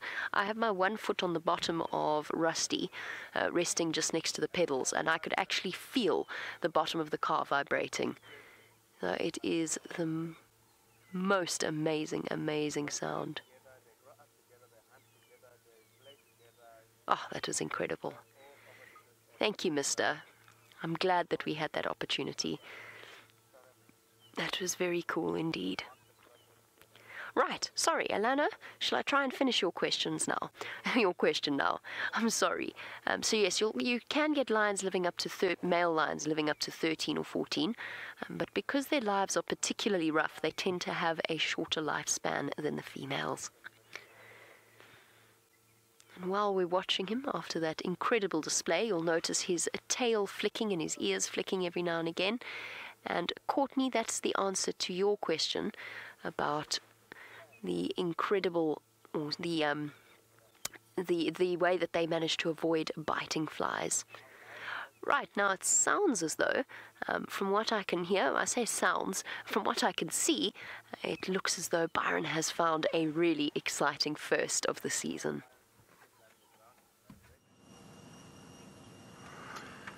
We have indeed, look at everyone, is wildebeest have just calved. And that one on the right is a brand new born. It, look at that, it's still uneasy on its legs. Oh, look, there we go. You can see the umbilical cord. We must have missed the birth by a few minutes. Look at that, trying to learn how to move and use its legs. Look at that. That is wonderful. There's another little calf lying in front of the female in the middle of the screen now. But that little one, look at that. Oh, this is wonderful. Now, there are at least three or four little calves around, and they all would have been born this week. Um, very, very recently, but that one was born a few minutes ago. Maybe, I would say, probably 15 to 20 minutes ago. Isn't that incredible? A female has been cleaning it, trying to get rid of the, the that scent of the of the placenta and that that was on there. Make sure it's all cleaned off. Um, but they actually don't smell very bad, and it's one of the ways that they avoid predators. Um, that smell isn't strong at all. And also the wildebeest are clever. They've come out onto the clearings to give birth so that they can see if there's any danger coming and potentially protect those little calves very, very well while they're out in the open. But isn't it amazing how very soon after birth, those little wildebeest calves are able to to um, get up and move around? And look at that one suckling at the moment. The other one's just lying down, the one to the right. But you can see that other one to the right is a bit older. Um, the, the skin isn't as dark as the one on the left. The other one look just appears dark because um, because it was just born, so it's still very wet. Whereas the one on the right is a little little bit more of a brownish coloration. This is really really special. And yeah, first for us for this season, the first um, wildebeest calves. So that's very, very nice.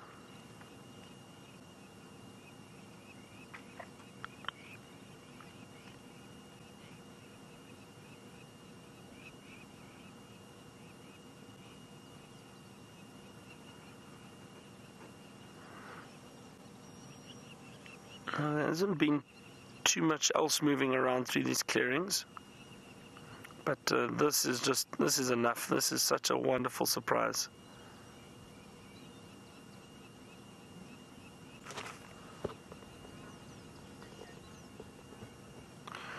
Uh, Cindy, you wanted to know if wildebeest ever have twins. Um, Cindy, I'm, I'm not sure, but I've never seen a wildebeest give birth to twins. Um, I mean, it could possibly happen. I, I doubt it, though. I, doubt it, but it could possibly happen, Cindy. But I've never seen it. I've never seen it in the wild, so I'm not sure. Um, just gonna check in the book quickly if they have got any record of it.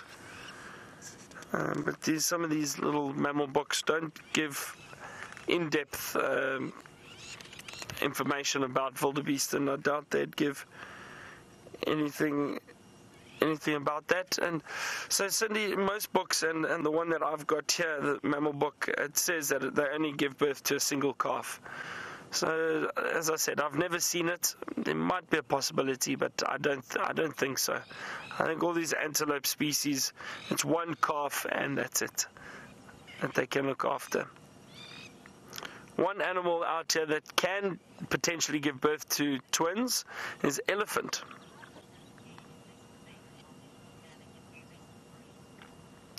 And Bree, you want to know how long does it take these baby wildebeest to get up and stand and start running around?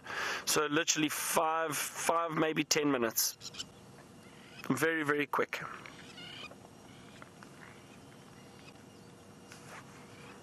Very, very, very quick. And they have to because if not, they'll be easy. They'll be easy prey for the predators, so they need to get up and move around very, very quickly. Stephanie, you wanted to know the other ones laying down, are they potentially going to give birth soon? Um, Stephanie, I'm not sure. There could be a, I mean, there could definitely be a, a chance of that happening. Just trying to have a good look. I mean, wouldn't it be wonderful to see a live birth?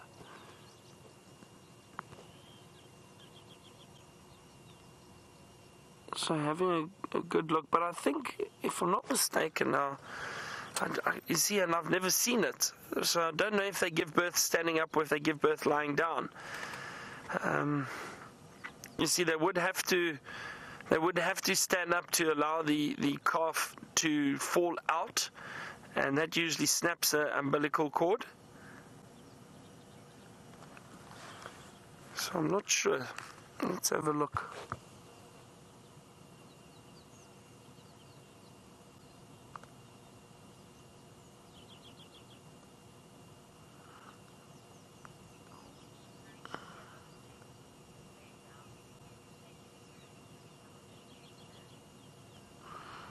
So with the wildebeest, apparently a lot of them do lay down giving birth, but then some stand. So it's a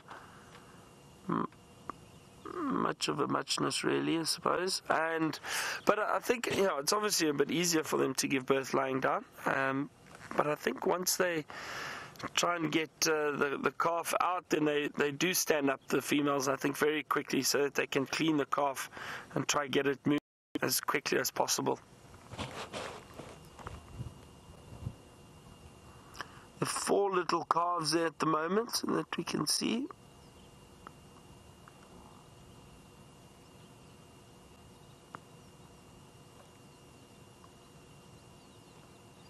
Lovely size herd of wildebeest too, quite a number of them.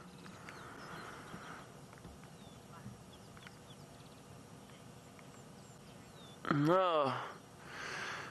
So from our lack of cat day yesterday. It sounds like Jamie's trying to redeem all of us, and she's doing very, very well. So from a lion, she has another cat in a tree.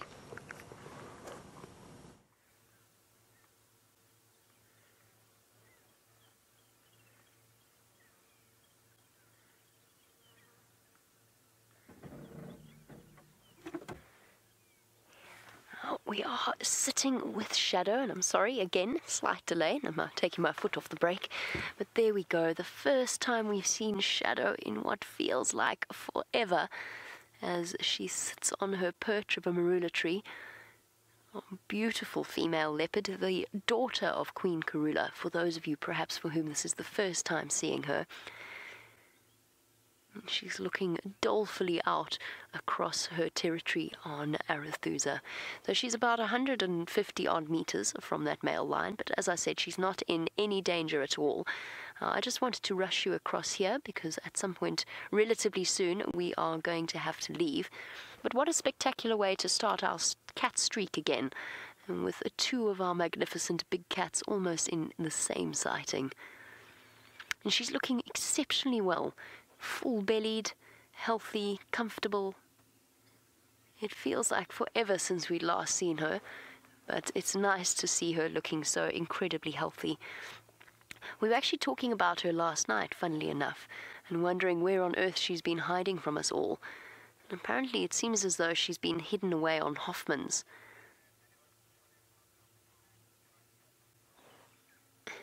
Our good morning to Fuzzman Sparkles. You want to know if she might be up in the tree as a result of being chased up there by the lion. Um, and the answer is no, probably not. Um, she's actually sitting comfortably up at the top of the marula tree.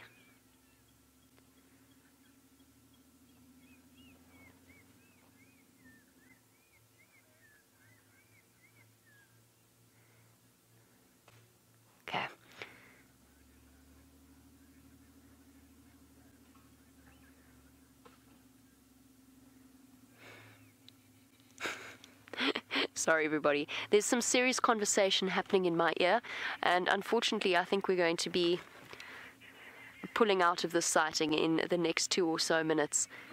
No, not sorry, not two or so minutes, 30 or so seconds is we're going to be pulling out. Our stations, no worries, I'm going to be pulling out of this Mufuzzy Ingwe. All right. Now we're going to leave Shadow. It's been a wonderful time. Unfortunately, it's very brief, but we are going to be leaving in order to uh, catch up with so that sorry so that we can sort out what's happening with the sighting and so that we can move off. But it has been wonderful to catch up even if it is relatively brief with the lovely shadow. But we are going to be pulling out and moving off right now. So there we go.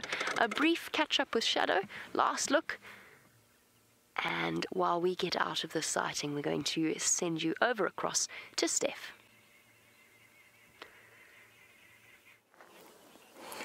Isn't it so wonderful that we get to see Shadow again after all these months? You know, for last night, what we did was we broke, I think, that 81 days of Lions in a row. And guess what? As soon as we break that one, Shadow comes out and plays again. You know, I can't quite help but think that there's some cosmic joke going on out there with us and these types of things. Isn't it just incredible? But something that is equally as rare as seeing shadow on a morning safari is what we've got down here. Now, for all you insect lovers out there, get ready to get yourself a screen grab of these harvester termites. This is a harvester termite that is very rare to see in the Sabi Sands and it's because they enjoy the wetter areas or they enjoy wetter climates or they thrive in wetter climates. Doesn't mean that you don't see them out here, but they definitely are a, a, highveld or a plateau top species of harvester termites. And that is why I think they are moving their colony.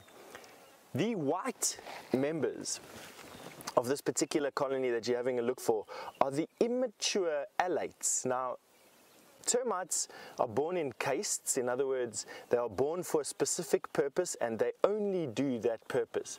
And they're designed for that specific purpose. These white alates that you see here are the flying ants, the immature flying ants, which will go and spread and create new colonies at a point. But they are being moved from one place to another. Now, that in itself is quite rare because you'd never see termites moving colonies. I've very rarely seen it.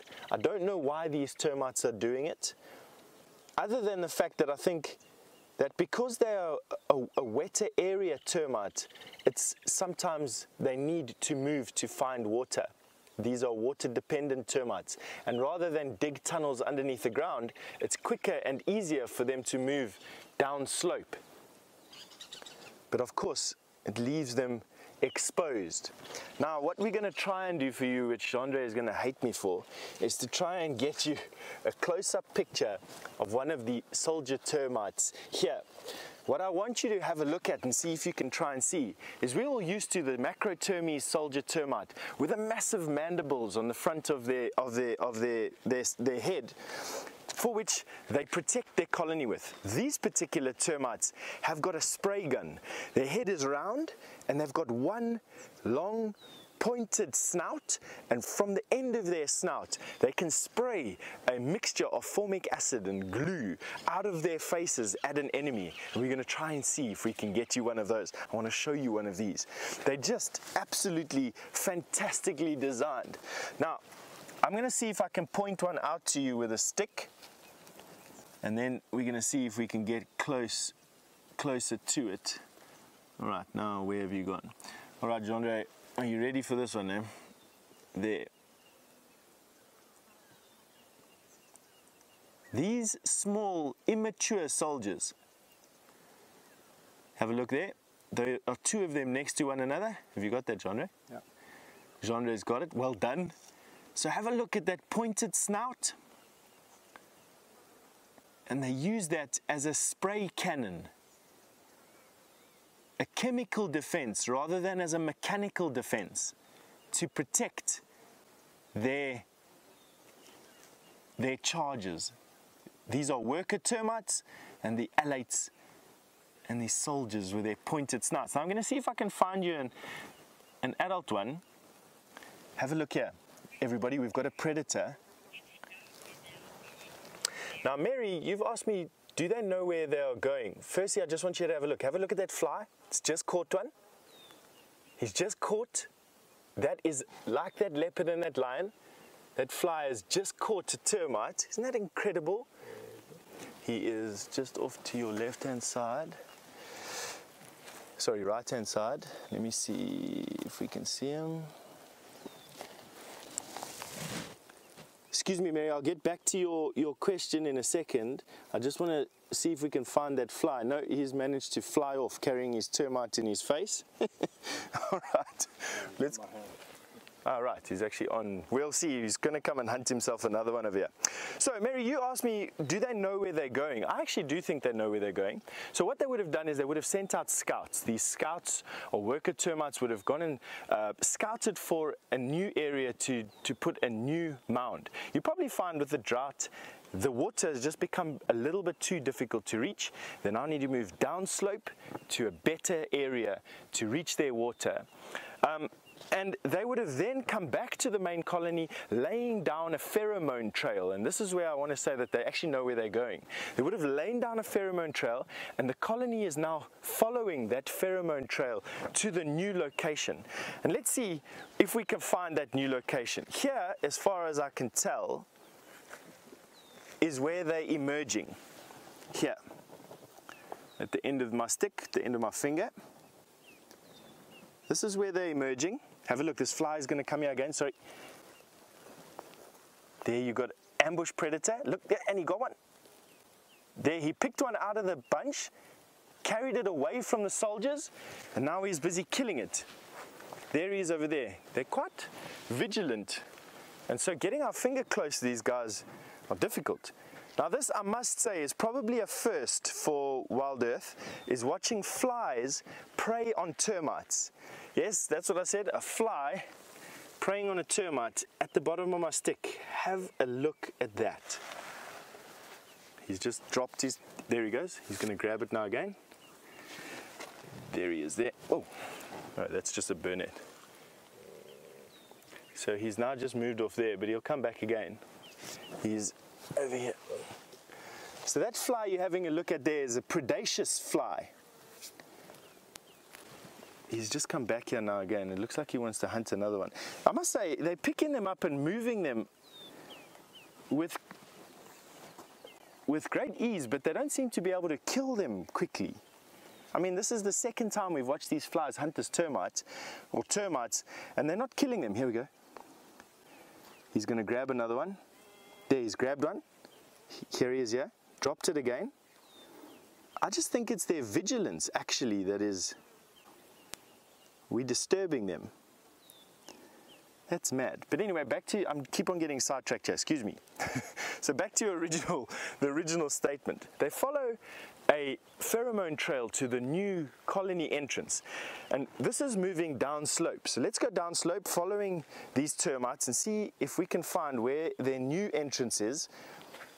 And it's right here. This is where the new entrance to their new colony is, and it's not that much further. I would say probably in terms of vertical displacement, about half a yard or so. But it's obviously a better site and making for a you know a better colony site, and it's worth the risk of moving all the immature alates and the well. There's even some adult alates here as well. Here's an adult alate here, but obviously not quite ready just yet. And this whole column is under siege. The a full-on war going on here.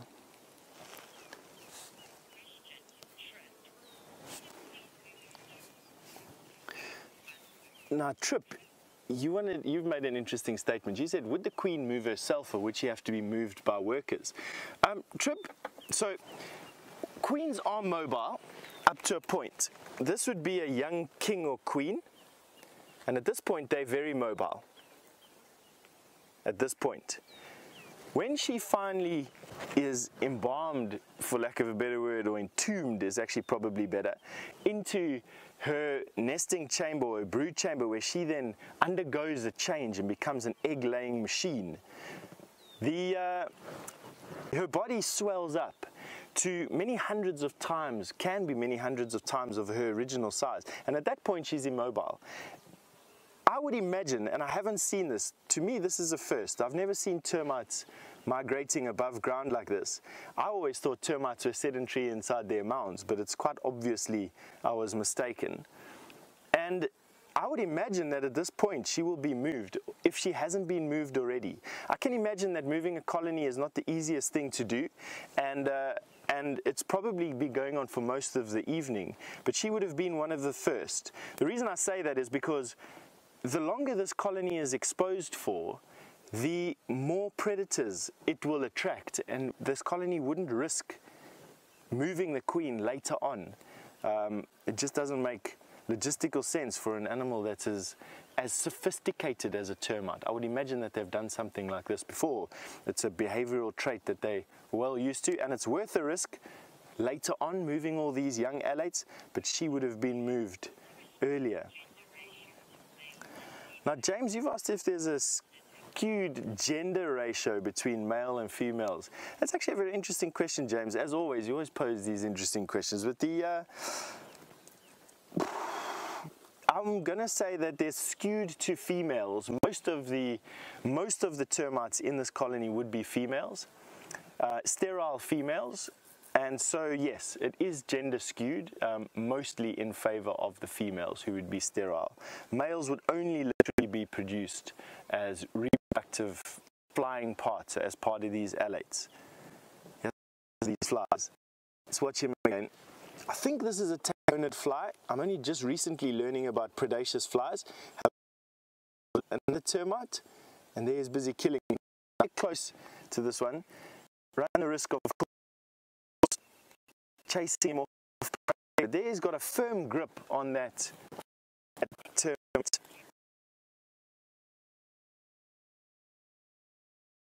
shaky signal timing.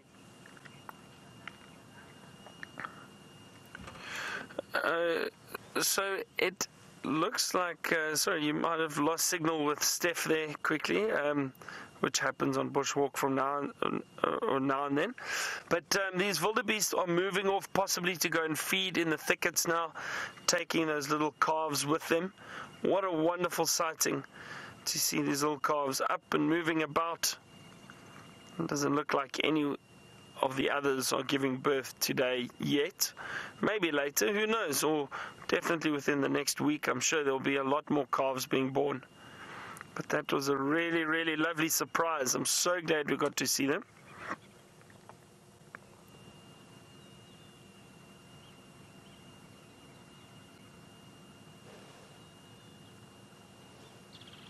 And there's not much else on these clearings, actually nothing else at the moment. A few birds, and that's about it. But we're going to still have a look around this area. Who knows what else we find? We're going to head kind of towards the Kruger boundary. Um, with the Kruger boundary with Cheetah Plains and just see what we can potentially find around there. It's very strange weather we're having this side on Cheetah Plains. Very, very overcast, misty and gloomy, as you can see. Apparently it's a bit clearer on uh, Djuma side.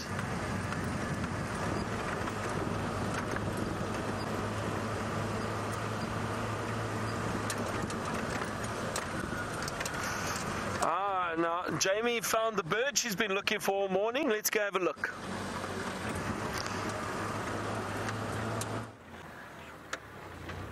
I have actually, and what a lucky morning we have had. Lion, shadow, and now the bird I spoke about originally at the start of the sunrise safari, although admittedly somewhat shy this morning, but our wonderful ground hornbill trio. And this is the trio that we see regularly on quarantine in the open areas. And this is a particularly magnificent bird turkey sized, roughly turkey sized, although obviously with a much, much larger bill. And specialized snake and insect catchers. Oh, somebody's coming in. Looks like two males here. Hello, you two. What are you up to? Massively powerful bulls, and they're digging through a pile of dung, searching for dung beetles and dung beetle larvae. So this is a basically a breakfast buffet for them. Look at them tossing the dung from side to side. And one beetle after another is biting the dust. The hornbills are having a marvelous time. Uh, for our new viewers, this is one of the most endangered species that, that we see. We're fortunate in that we actually see them relatively regularly, and there seems to, this trio seems to have moved into this particular patch. This is the bird I was looking for at the start of the sunrise safari, the one that calls guguk, guguk, guguk, guguk. Beautiful, beautiful call. Uh, studies from a couple of years ago have suggested that there are, in fact, only around 1,400 of these incredible birds left in the wild. Um, the lumber might be recovering slightly due to seriously concerted conservation efforts. And just recently, Brent and myself went on a trip to Buffelshoek to go and visit some friends there. And we were treated to an incredible sighting of a nesting female ground hornbill tucked away in her hollow in a marula tree. And that is a rare sight indeed, and that's why I've been looking for these hornbills in the hope that perhaps we find a nest site for you. Because there's nothing as special as watching something like that. These ground hornbills can take years to breed. They take seven years to reach sexual maturity. They mate for life when they do mate, and they are very, very picky breeders. And what I mean by that is if something disturbs them, if something in some way, if their tree gets pushed over by an elephant or something upsets them in some way, perhaps a visit by a snake, they can take years to find a suitable nesting site and breed once again. It's one of the reasons why they have become, obviously, humans have played a massive role, but their slow breeding process is one of the reasons why they have become a relatively endangered, uh, definitely an endangered species.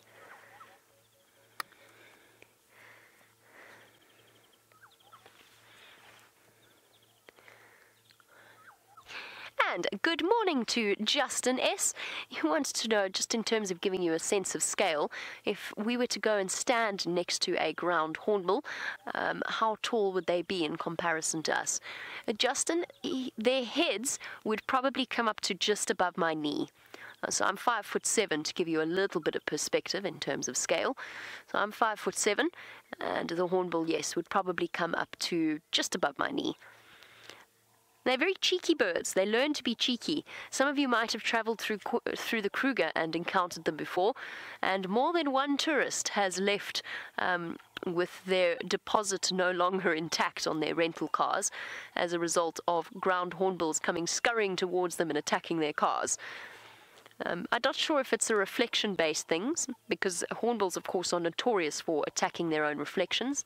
They're lovely birds, um, but they are they do have a tendency to to attack their own reflection. They, they, they don't team, they don't seem to learn that their reflection is not in fact a rival hornbill. Look at them; they're having the most the best breakfast ever. But what I'll try and do Perhaps we, I mean, I haven't done this for a long time, but perhaps we could do it with the hornbills. When they move off, I'll go and stand where they were where they were standing, and we'll try and get a sort of an idea um, next to some of the trees, surrounding trees, and so on, just how tall they are. Obviously, I'm not going to go and scare them away. So let's, yeah, then let's think of sort of from there. If you can take a screenshot now with their heads up, and then I will go and stand where they have been standing and we can get a comparison. Our Candy Boy, I'm just trying to establish whether or not this is in fact a mating pair of hornbills. I've just seen one feeding the other. Now, what it could be, because looking under that one's chin, there seems to be a little bit of a blue patch, but it's so bulgy, I don't think it's a female. I think we've got two males here. The females have a very clear blue patch underneath their chins.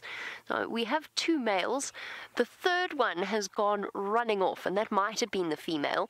It's difficult to tell because she disappeared. Um, but you can you can see relatively clearly on the females. There's the the pouch underneath their chins is, or the gular f- the gular pouch is not as prominent in the females. Their their bills are not quite as well developed and they have a blue patch under their chins. Now, I'm not sure if the female wandered off, but what it could be because ground hornbills are complicated creatures. Um, they live in quite complicated family structures. It could be that, in fact, the female is nesting, and what we're seeing here is her mate and adult offspring. The one on the right is slightly older than the one on the left. You can see it just in terms of the development of the gular flap and the the color of it. It's much darker red. So that the one on the right is definitely a mature, mature male. So what happens with with ground hornbills is that they are cooperative breeders. So their adult offspring will actually stay with mom and dad even once they've reached adulthood and they'll help mom and dad with their breeding. Come this way? Sorry, I just seen the third one emerge but I'm not quite sure. Now I've lost track of which one's which. Might actually have. Look at this. Let's just watch their dynamics for a second. One's begging.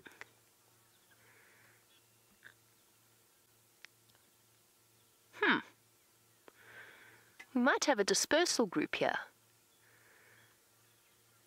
All begging from each other. The one is clearly much larger. The one in the middle is clearly the alpha male, clearly the fully grown male. But the other two look like they're males as well. So what it could be is a dispersal group they do, or it could be that the ground hornbills have had two male sons, and that they are still around learning to do the whole the whole child raising thing or chick raising thing. It's a fascinating structure because it's research has shown that unless offspring actually stick around and help the adults to raise. Oh, hold on. Sorry, sorry, sorry. I've got to be on the Game Drive channel. There's just been an interesting update.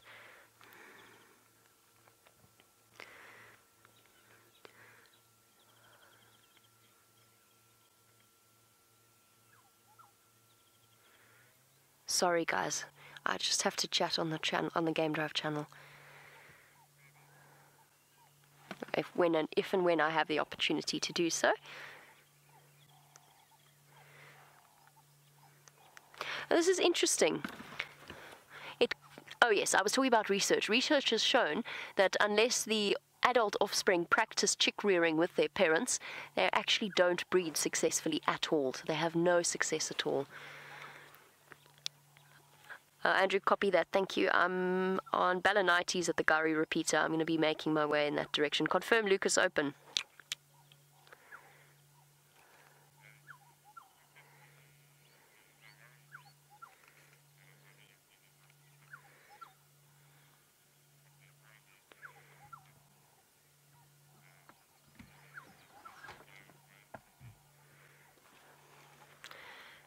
Copy that. Thank you. William is describing them as a coalition of ground hornbills, and that could well be. Um, it could also be a dispersal group. So once they reach sexual maturity, the males will move off and they'll often form these little bachelor groups. The females do the same thing. Well, they are slowly but surely disappearing, and I think our window of opportunity is about to vanish because Karula has just crossed onto Djuma. And if I don't start to move now, we all know how Karula disappears. I need to start. I need to start moving in that direction to try and get to her. We've, it's wonderful that we did find our ground hornbill, and we can still chat some more about them. But I'm going to start racing off in that direction. Now, Fush, you wanted to know what the what caused the ground hornbills to be endangered. Sorry, guys, they are disappearing though, so I don't feel too bad. Um, a combination of things. One is habitat loss. As with most of our animals out here, they struggle in terms of finding appropriate habitat. Human beings have encroached more and more into their space, and as a result, they don't have appropriate nest sites. As I said, they're very choosy about their nest sites.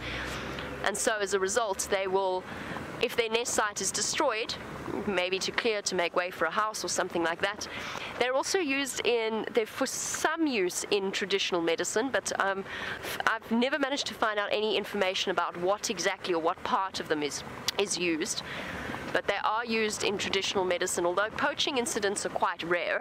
And then the other thing is when they attack their reflection in the window, they often smash the glass because they're big, powerful birds. It's not like a yellow-billed hornbill smashing and tapping on a window. It's a big, powerful bird. Um, and for people that struggle to make ends meet every um, day to day and week to week with kids and bills and responsibilities and very little income in a country like South Africa with immense socio-economic problems, um, having a window smashed repeatedly is going to cause you a great deal of consternation, particularly when you're ignorant to the, the situation of what's happening with these birds and how endangered they truly are. To, to certain people, they are just a pest. And as tragic as that is, you can understand because people don't necessarily know um, just how important these lovely birds are and how important their protection is. So that's one of the reasons. Um, the overpopulation of elephants has been cited as a reason for the drop in ground hornbills in South Africa. That is, um, in South Africa we've got we've got a very healthy population of elephants, and particularly in the Kruger National Park. I don't know how I feel about that. I don't think I I don't buy it. I think ground hornbills and elephants have been living together for centuries quite happily, and it's only when you throw humans into the equation that that balance gets upset. You can't really turn around and blame the elephants for the loss of ground hornbills. That to me just doesn't make any sense. So those are the main reasons. And then of course they're picky breeding. They're picky breeding and the fact that it takes them seven years. Seven years of investment in one chick only one chick at a time. That's a huge amount of effort that goes into raising them.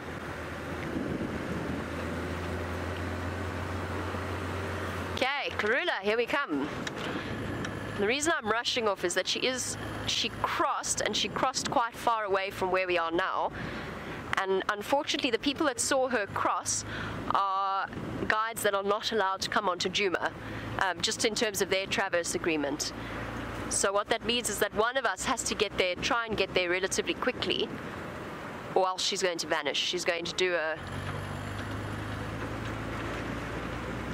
She's going to pull a Karula on us.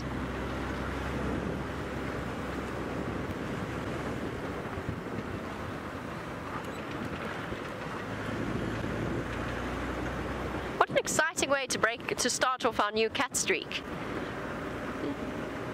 Shadow, and now potentially her mum. Right, well, while we race to where Karula was seen, let's go all the way across to Cheetah Plains to see what Byron's up to.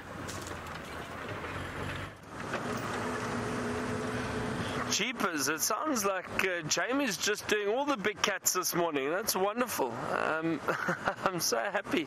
Sounds like she's going to potentially see Karula too. That would be great. Now, we haven't had any further luck on Cheetah Plains. No signs of cheetah, that's for sure. Um, hoping to see the two big males, the territorial males that move through here but unfortunately not. So we're going to start making our way back towards Djuma. Also, no sign of elephant anywhere.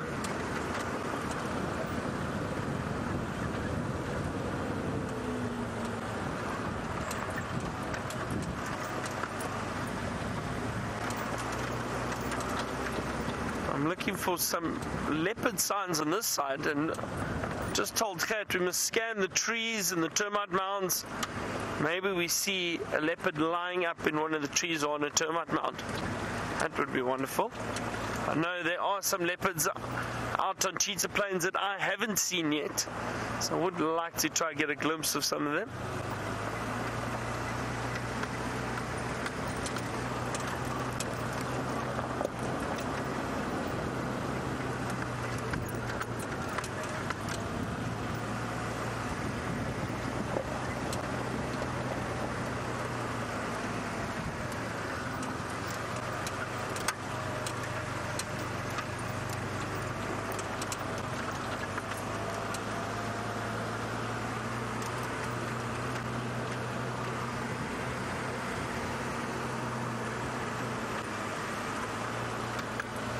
Marley, you wanted to know, um, back to the, those wildebeest, and you wanted to know would the would the males protect the females, um, the cows, while they are giving birth, and the youngsters, um, if there are predators around? I, I don't know, Marley, and it's it's difficult to say, and um, and I, I say that because it, it's funny. Instinct, instinct for these animals is is obviously to try and survive. So they try their best to avoid predators. Firstly, their own safety is a priority, and then the safety of the herd potentially. But what I have seen in the past is uh, wildebeest. What they will do, depending on the predators, though. Now, with lions, they generally run away because the lions are very big, very powerful, and and um, and it would be easy for lions to bring down a wildebeest.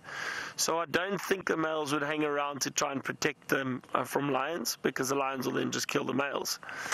However, um, I've seen with other um, predators leopard, um, cheetah, wild dog, the wildebeest will congregate together and they form a front or a wall. They will stand facing the predators, horns out, and they go and they chase them and they'll try and keep them away. So what they do is they'll often put the youngsters in the middle and they'll form a circle around them and then they'll stop and try and chase whichever predator it is away. But I don't think they do that with lions. The other predators, yes. So like like I said, cheetah, leopard, and probably wild dog, or definitely wild dog. I've seen them do it with wild dog. Wild dog packers run in and try to hunt the, the wildebeest, and the wildebeest all turn, form a circle, and try and protect the youngsters, and they chase the wild dog off because those wildebeest adults are much too large for the wild dogs to hunt. So, um, and especially when they work together like that. Actually, if the wild dogs really wanted to, if they could s- uh, separate one from the herd, they could probably kill it. But uh, but generally, it is a big antelope not ideal prey for wild dog. And cheetah and that they just chase them away very very easily. So Marley, I hope that answers your question.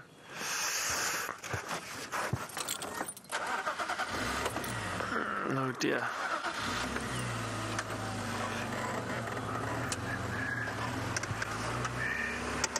Seems very quiet in this area this morning. Bird life is great. We've had some interesting birds around. Saw black-bellied bustard earlier. I know Jamie also had one this morning.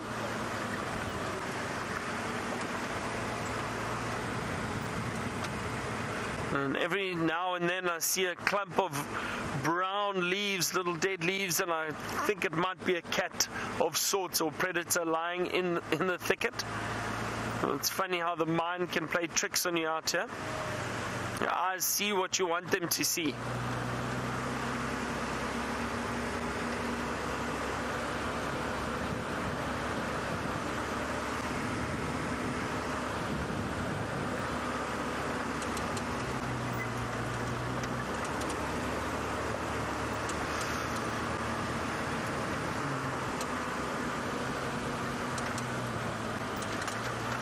So there really hasn't been a lot of wildlife. We've been fortunate with the zebra and the wildebeest that we've seen, but no sign of any animals just yet. But things change, things do change.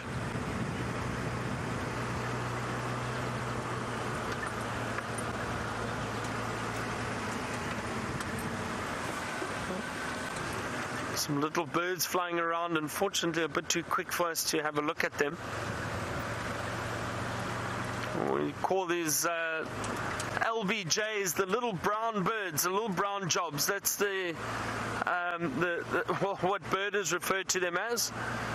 And the birds that are probably quite difficult to identify, you need to try and work out very quickly what family they are in and then try and have a look, especially some of the larks, cisticolas. Uh, they, they all look fairly similar and very difficult to identify.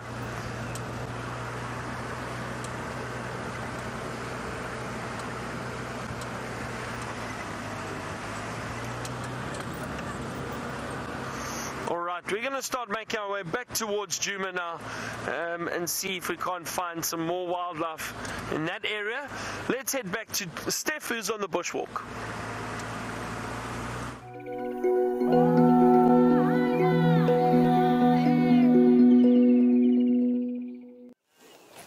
Whoa, you uh, welcome back. Excuse me jerking like that as you got to us. Something made a very funny noise in here. And when you're digging around under stumps out here in the bush, you always got to be careful about where you put your fingers. And something making a noise like that. Oh, that was what it was. If you look inside there, you'll notice some sand. That sand came rolling down. Ooh, and I'm about to touch a violin spider. Wow. Okay, I must just be careful here. All right, this stump is proving to be quite a wealth of things to look at. Inside there was what gave me a fright.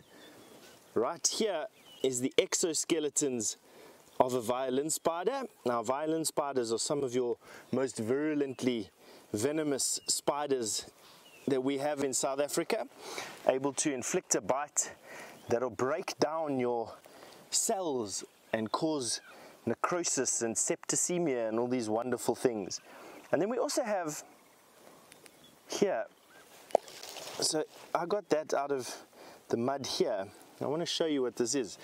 We identified this last year as a single banded snail. Gets its name from that band that is on the shell that you can see there.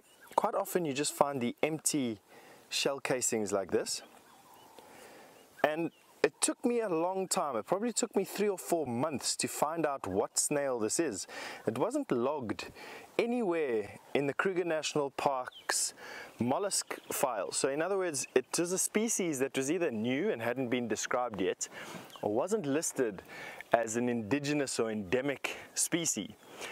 And when I finally stumbled across this particular snail, the single-banded snail actually originates in Europe and is a invasive alien, but it's not recorded as an invasive alien. So what we've got is we've got this snail that is pervasive in this area of the Kruger National Park, and scientists either know that it's here but haven't recorded it as such, or don't know that it's here just yet.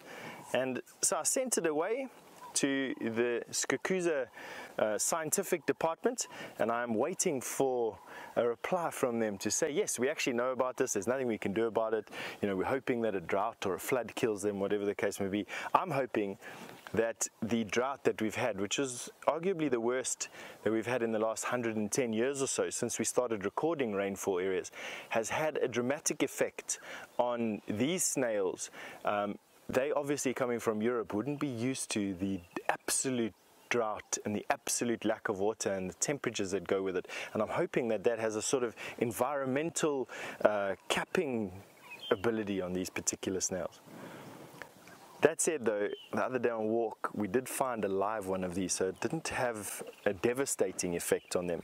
They're definitely still around. So that's the single banded snail that we found underneath here. And what else have we got in this stump? We have got a bunch of fish moths. Uh, I know you don't like fish moths because they eat holes in your clothes, but out here they do provide a vital service in the breakdown of organic matter. There is a fish moth there and there so let's see if I can find you another one over here. They're proving quite flighty today. There's one coming out there now. There we go. Two just darting from cover. I don't want to dig around in here too much. This very fine web that you can see here, this white filamentous web, is the web spun by violin spiders. And although they look quite uh, static and sedentary, they actually can move incredibly quickly over a short distance. Barbara, you asked me just now, is the the violin spider similar to your brown recluse spider? Absolutely. Uh, the violin spider is what we call them in South Africa because on the back of their cephalothorax, which is the spiders are divided into an abdomen and a cephalothorax where their eyes are and their legs come out of. If you look carefully and you use a lot of imagination, you can imagine there's a picture of a violin there. I battled to see it myself, but I can see the picture on the back there. Now, so yes, in, in, in short, it absolutely is. Now they, they, they look like they don't move fast at all, but let me tell you, a violin spider can cover the most amazing amounts of distance, and they bite a lot of people because they're aggressive spiders. They are, they're not shy to bite. Some spiders are shy to bite, baboon spiders, for instance, or tarantulas are shy to bite. You can handle them fairly safely, but you can't handle a violin or a recluse spider. They, they tend to be quite bitey things. Now, I found another thing on this stump as well, and I'm going to show you. See if you can see it. On this piece of wood, right here, have a look at that and see if you can see what is there. You see it yet? Can you see it, John? This piece of wood? Have a look at this locust right there. Can you all see him? That is one of the crested locusts. and that is just crazy the way that that is camouflaged the way it is. You can have a look at that. Now, a lot of you might be asking, how did I see that? It caught my eye basically because of the straight lines of their antennae right there. This piece of stump only has wavy lines on it, and that straight line was what gave it away, not because it moved or anything like that, literally just that little straight line. Of course, I've been doing this for a long time now and it's it's easy for me to well relatively easy for me to see these types of things. You get used to it in your environment I suppose you know like I was always battling when I had my first child to see exactly what the doctor was seeing. Every time they put that funny scope thing on my wife's tummy to see show me my son I couldn't see what they were talking about literally until like three weeks before he was born. But it, it just comes down to what you're used to seeing and what you're trained to see. These are one of those things that I'm trained to see. This is full grown and as far as I can see this is a female. Female members of the crested locusts are flightless. They don't have wings. The males fly around and are attracted by the female's song and pheromones. And as you can see, she doesn't have any wings at all. She's just hiding out underneath this, this stump, staying hidden in the most spectacular way. Now, why the camouflage? Quite simply, a lot of the predators out here hunt by movement. So the way that they find their prey is through movement. And if you stay hidden and you are patient and you can calm your nerve and you stay hidden, there's a very good chance that predators just brush over you. A lot of other predators have now overcome this by having chemical receptors and they can sort of smell out their prey. And for that, there's a defense as well. Some, some uh, food or prey species, for lack of a better word, will disguise their scent either by mimicking the scents of other things or by plastering their bodies full of other benign insects. It's just the most amazing thing. When you get down to this scale, um, there is literally wonder around every corner. And this is literally just a piece of stump that we decided to pick up and have a look at what was under. And there's a whole world of things happening underneath here. All right, so what I'm going to do now is I'm going to be turning this around, putting everything back the way that it was, creating that refuge for everything underneath there, and uh, we're also going to be sending you over to Jamie for an update. It sounds as though Stef has been having a marvellous time playing under logs and looking to see what creepy crawlies he can find for you. We're on the search for something a little bit larger um, and maybe slight, no, not slightly harder to find. The goggas, which is a South African colloquialism for insects, the goggas can be secretive when they want to, just like Queen Karula, I've found where she's crossed She's moving straight towards Treehouse Dam. Unfortunately, we just weren't in time. All of the other vehicles had left and she's disappeared off into the block on my left. When we talk about blocks, we mean the vegetation between the roads. That's what a block is. So she's in this block of vegetation off to my left. Let's just see if this impala looks like he's just seen a leopard. No, he doesn't look at all like he's just seen a leopard. He looks very relaxed. And now, the trick, of course, is to try and predict what Karula's going to do, putting yourself into the mind of the animal, as Brent always describes it. And the trick here, the tricky thing here, is we don't quite know what she was doing on the southern side.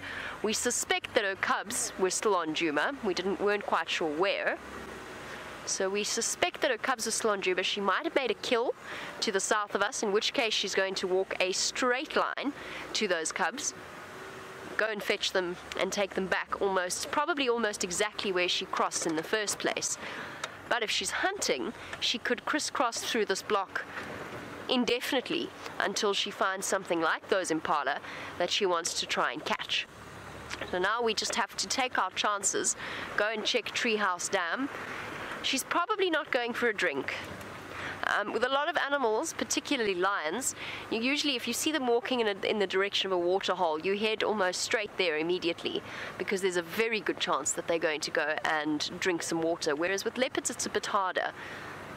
They're not water dependent really. They'll drink readily when there's water available, but they don't necessarily actively search, seek out water every day.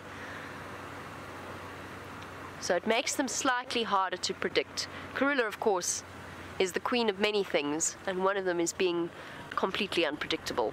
So I, I, don't even know why I'm trying. Well, I've got to try. I've got to try and figure out where she's gone. And what I've been doing is I've been stopping periodically because a leopard on the move, a leopard that is is bent on being somewhere, perhaps to fetch her cubs, for example, isn't particularly bothered if it if it's seen.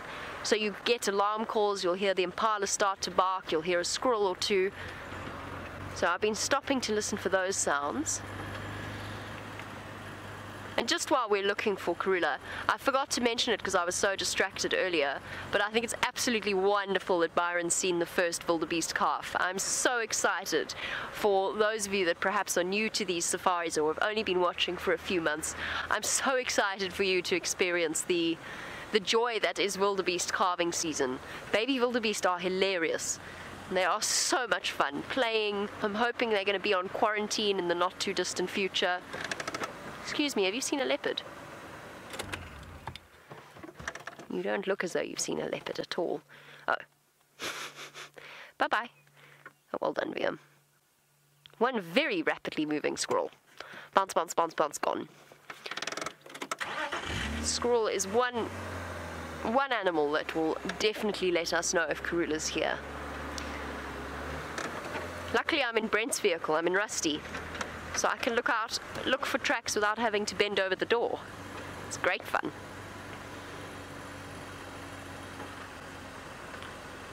Um, I'll come back to this nest. Let's just double check for Karula first. there's a lilac-breasted roller nest in one of those trees, but I'll come back to it, depending on our luck with the queen. I seem to be missing my royal appointments these days. I just, we just seem to miss each other.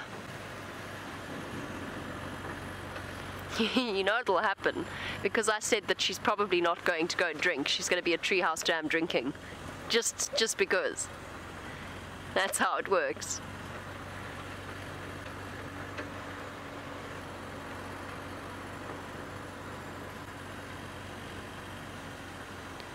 Let's check very carefully. It's quiet at the moment. Let's just do a quick check. We'll go up into the dam wall. Gives us a nice height advantage, even if she isn't at the water's edge. It'll give us a nice vantage point. No tracks crossing the road yet. Oh, hi.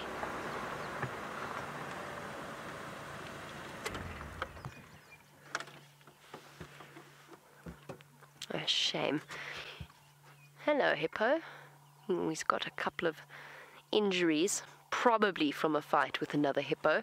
This is the hippo that Stef seen. I forgot completely that Stef had been had seen a hippo at Treehouse Dam. Ouch. That looks very sore.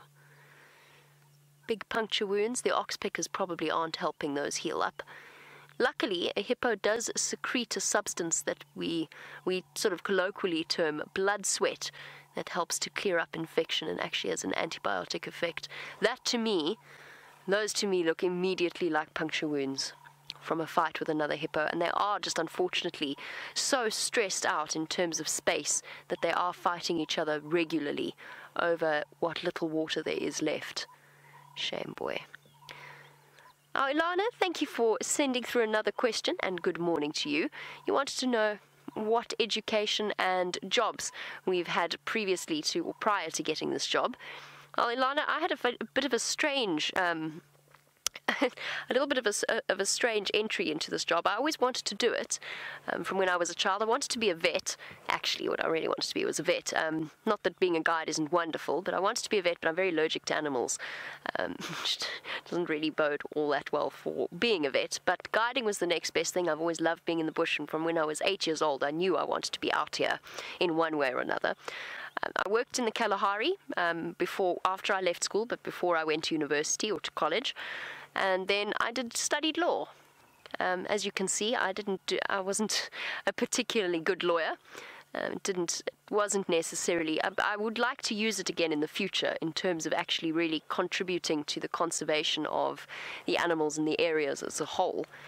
Um, then I did some training, and there's different training providers. And basically, what you start off with is a basic level of training and you do an exam, you do an entry level exam, and you do an entry level practical assessment where you have to take a game drive. And then from there, the world is your oyster. And you can start improving, you can start. The most important thing in this, in this sort of line of this line of work is really a passion and and a desire for knowledge and to spend time with the animals. So it's it's just time spent in the bush. And that's what really is you'll find with all of us. We all have completely different approaches, completely different backgrounds, but we're all united by this complete fascination and inability to be anywhere else. That's how we all basically became guides. So it's lovely to hear from you, and I hope perhaps this is a career path that maybe you are considering. Would be lovely to add you to the list of young people that are really truly thinking about becoming a safari guide as a career. Zooming backwards, let's go and look for the queen.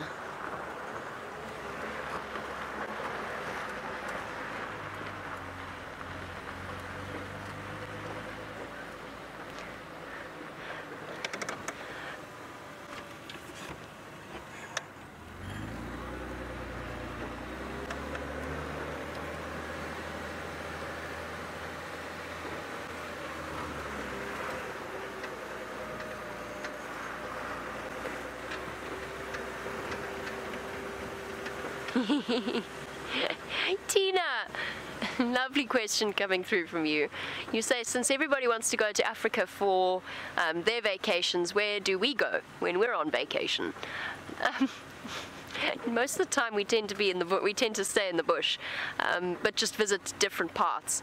Oh, one of the things that we all love to do is explore different types of, of wilderness, different types of bush. At the moment, um, I've been spending quite a few holidays around in and around Hoedspruit. My family, we often go back and visit our families because, of course, we're, we're very far away, and we work seven days a week, which means that you don't you, you don't have the opportunity to go home for a weekend or something like that. So my mom is based in Joburg, my dad's based on the in the coast of South Africa. So we'll go and visit them, all sorts of things. And generally you'll find, but unfortunately for us as South Africans, our exchange rate makes overseas trips not impossible, but it does, you know, it does sort of, you, there's only so many times you can go overseas um, on our South African rand at the moment. Wonderful for visitors who come and visit from America and from the UK, means that you have a fantastically good value for your money, but it does make life more difficult for us. I dream of traveling to, I've got so many different places I would love to go to. I'd really like to go and see bears. I've never seen a bear in the wild. I'd love to see a polar bear as well. Um, just different places. I'd love to go to see tigers in the wild as well. And wolves. Wolves would be incredible. So there's lots of places we would love to go and dream of going. Uh, but for the most part, you'll find a lot of us spend our vacations in the bush. We'll go into Kruger. Kruger's literally on our back doorstep. So we can go into Kruger, camp there for a few nights. VM often does that. He goes off to all kinds of exciting places.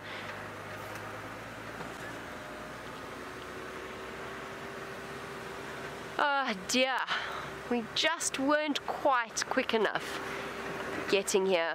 I think Karula's given us the slip. No, Rebecca, I have not had enough cats for today. What is that? What, what is enough cats for the day? Got her. Shall I go back or shall I? All right, I'm going to hop out and do a little bit of a stroll to see whether or not we can double check up on Karula. But while we do that, we'll send you over to Byron to find out where he is and what he's up to. Oh, well, Jamie's been tracking and looking for big cats and leopards in particular. I've been trying to do some birding. We've seen some interesting little birds, a lot of woodland kingfishers around, a lot more now than there were um, a week ago or so. Um, and now, Ilana, I know you asked um, Jamie and Stef about um, what they did before they got this job or, or how they got into this line of work.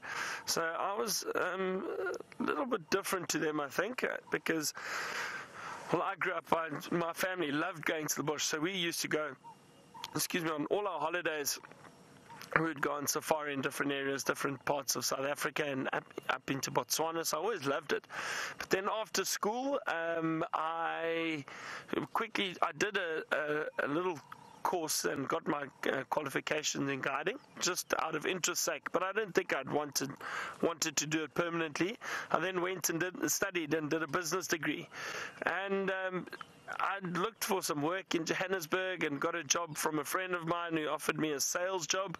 I did that for four months and I said it's not for me and I don't like the big city at all so then I um, I managed to come out and work in the bush and from then um, I've just been permanently in the bush so from about 2008 uh, permanently in the bush, but I was guiding and working in the bush before that, but been permanently in the bush since then. So, and it was the best decision I think I ever made was to come out into the bush. Um, and I worked permanently for a lodge for five years, and then started my own business, and now get to take people all over on safari, which is wonderful, all over Africa, and. Um, so it's very, very different. And like Jamie said, we've all had a slightly different background and introduction to the bush. But um, I, uh, yeah, from living in the city and working in the city to moving out here. And it's funny, three of my friends that started with me when we started guiding at Londolozi in 2008 or 2009, three of them were all qualified accountants and they gave it up and they decided to come and work in the bush for a few years. Um, but uh, one of them is still involved in the bush. Two of them have gone back to finance. the one actually got the best of both worlds. So he works in finance, but he's still at the lodge. So he's in the bush and he gets to do what he loves by going out and photographing animals, and then he still does a bit of the finance. So best of both worlds, I suppose. Wow, they've put some new sand around here.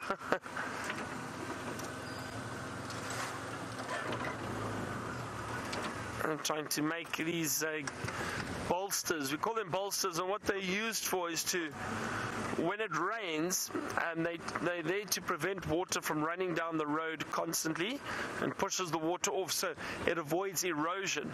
So that's what these are for. But these are new ones. They still need to be um, basically molded correctly, uh, or, or shaped correctly. They. They shouldn't be that steep.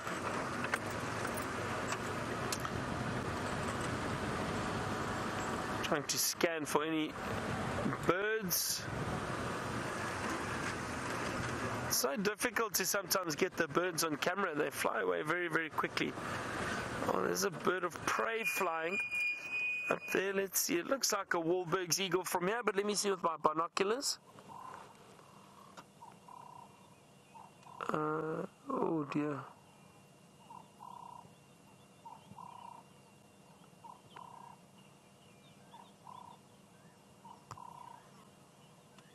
What is that? It does look like a dark form of a Wahlberg's eagle.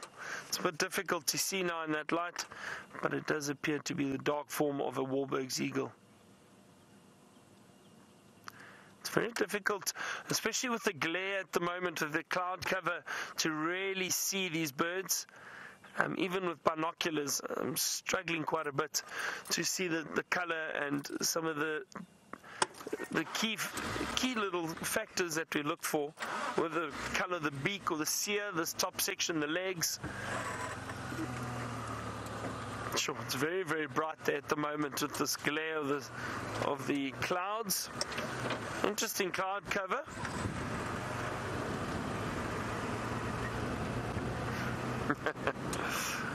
All right, uh, we while we move through this area. Rebecca just made me laugh. She, these speed bumps, she thinks these are big speed bumps that we're going over. Um, let's head back to Stef and see what he's got on the bushwalk.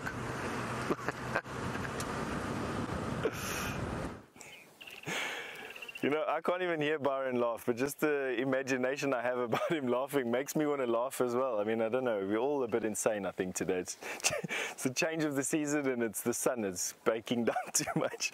Now, you know, keeping to our theme of uh, camouflaged insects, come and have a look and see if you can see what I'm seeing. I'm going to give you the patch of bush, plus minus that it's in, and see if you can see what is in there. Roughly, in this area are two animals see if you can see where they are and what they are. And they are about as long as your thumb. So they're about an inch long. Got it yet? No? All right. Let me see if you've seen it. Have a look right here. From there to there are two locusts. There's these locusts that live on these sandy patches here that look exactly like rocks. They are joined because they're mating with one another. The larger male with the smaller female, as far as I can see. And just have a look at that. Isn't that the most amazing thing you've ever seen in terms of camouflage? Using a camouflage technique called disruptive patterning, leopard have a very similar coat pattern in that the edges, the thing that creates the silhouette, is broken up by alternating bands of light and dark and a bunch of other different colors. And what it does is it basically breaks up the shape. So with locusts, they want to break up the shape from the top down, not from the side on. Leopard are walking through the ground and need to break up their shape silhouetted from the side of their bodies. These locusts need to break up their shape from the top of their bodies. So what we'll do is we'll swing you around over to the top of these locusts in a second and you can see how deceptively efficient this particular camouflage is. And it's not by adding anything on top of them. There's no fizz of hair or fringe of fur or anything like that. It literally just is what you can see there. I don't even, uh, you know, I'm looking into the viewfinder right now and I don't even know if, I can't even see these locusts. It is them. Jandre is just confirming it before. I think let's go a little bit closer and see if we can. I'm going to put a piece of grass or this thorn above them again. There you go. The point of the thorn is directly in the middle of the two. The one's head is there and the other one's head is here. Amazing, hey? And they're sitting dead still even though there's these two giants right next to them. Oh, there they go, they moved. And that'll actually give you a, a nice indication here of how they defend themselves when they finally do get seen. On the inside of the leg here, you might notice that red coloration. Look at that. That is called flash coloration. It's designed to startle a would-be predator. That massively red color there you go, on the inside of the leg. You see that, Johnny? Uh -huh. And that's designed to startle a predator. So what will happen is a bird will come along, this grasshopper will get a fright and go, okay, this bird is getting a little bit too close now, and jump away with that bright red flash in the face of that bird. And the bird will go, wow, what does that? And hopefully, by the time the bird recovers itself, this grasshopper is hunkered down again on the floor and he's as camouflaged as he can be and the bird passes on. Isn't that just amazing? Flash coloration, we see it quite often in frogs as well, also on the inside of the legs and then in some locusts on the wings and in some insects in actual fact, stick insects and locusts have it on their wings. They'll be very camouflaged and the second they fly open with their wings open, this bash of color will come out. Now, Viola, you wanted to know what one is the female. Let me see if I can see for you. Well, okay, maybe not. Where did you go now? Um, okay. Viola, I could tell you that the one on the left-hand side was the female, oh, was the male. He had the wings. The female was the one on the right-hand side, the slightly smaller one. Uh, she was flightless. That's generally how it is with the locusts. There's just one small thing that was worrying me in that whole bit. Now, exactly that. Flash coloration in my face, jumped at me, I got a fright, and then they've now landed and have become virtually invisible again. Um, the only thing that I, would ask for you to check, of course, is that in some locusts the females are large and flightless. In this particular case, the winged member of this pair was was was larger than the smaller one. Now, that's what makes me say it was a male. I could be wrong in this particular species of of uh, of grasshoppers. I don't have my book with me right now. I'm going to have to check that when I get back to camp. In this particular, these locusts that like to live on these open sandy patches, uh, whether or not the female is smaller or likely to be smaller than the male, and whether or not the male is winged. I would imagine that the males are winged and the females aren't. It's much safer just to stay hidden than it is to fly around here with all the spiders and the birds. Now, Ilana, you have asked a little bit earlier what I studied to become a field guide out here. Now, Ilana, back when I became a field guide, um, there were no schools to become to train for field guiding. I went to university to study a science degree in zoology and geology. Um, and happily didn't finish it, although I'm not telling you that you, you must finish your school. um, I didn't finish it. I had a love for, for just wanting to interpret the bush, not really wanting to work in the bottom of a mine. And a friend of mine, a gentleman called Lee Gutteridge, introduced me to field guiding and asked me to come for an interview at a company that had an in-house training school. Um, and that is basically the end of that. I studied in house, did all my levels, and then there is and there was a genesis in the field guiding industry around about the year 2000 uh, where there was a national body created that set different levels and provided learning material for field guides and now all of a sudden field guides from all over the country or aspiring field guides from all over the country could learn on their own write a test and be judged a certain level in field guiding and could and could register as a field guide and uh, could start operating as field guides. Um, after that, there were schools that have that have now taken that on, and now you can go to school and you can study to become a field guide in about six months. There are schools that offer it slightly shorter, and you can do uh, it even through correspondence if you want to. Um, but there's about six months to get everything that you need in order to to be registered as a, as a fully fledged field guide.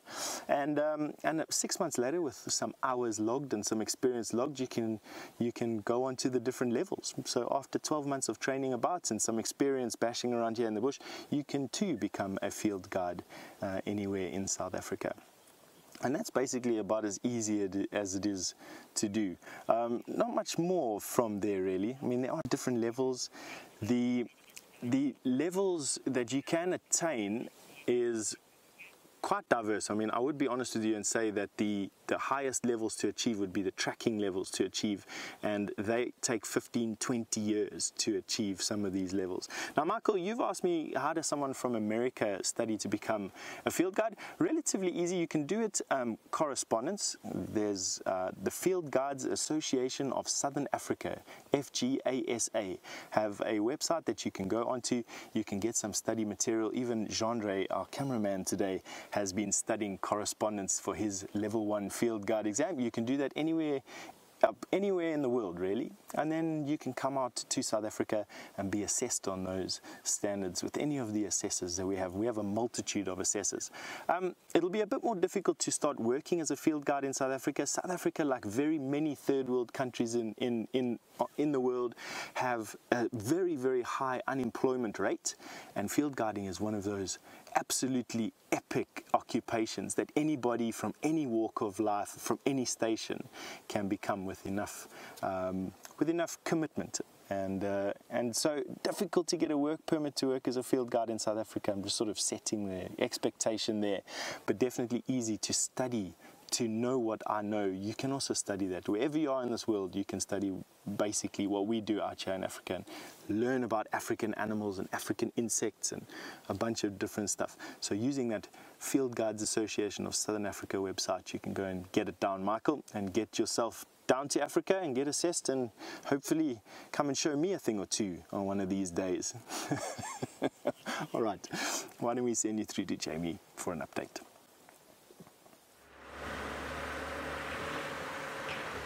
Okay, so we've picked up on Karula's tracks and they are heading in this direction. She's gone off into what we call a drainage line, which is essentially like a riverbed that drains into Treehouse Dam, and she's moved in there. Now, I've come through to the opposite side of the drainage line to see if we could spot her from here. Her tracks haven't come out, which immediately tells me that she's still in there and I'm not going to waste my time going all the way back and around because I know where her tracks came from and she's probably, probably not going to double back. So we're going to double back and see if we can't pick up on where she is. It's such a funny thing, you know.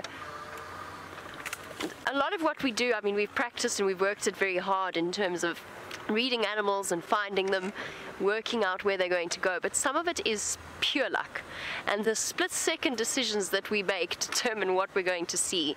Because those tracks are crispy fresh, beautiful. She just made them. And I came to a fork in the road where I nearly went straight to Treehouse Dam. And I thought, no, don't be silly.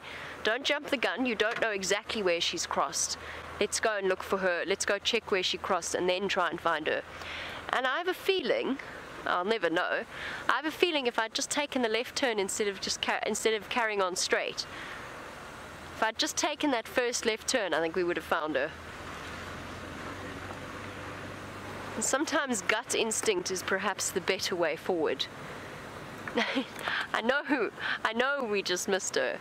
And now I'm too scared. I don't want to go too far away doing a big loop because we're going to miss her again if we're not careful. She's just in here somewhere.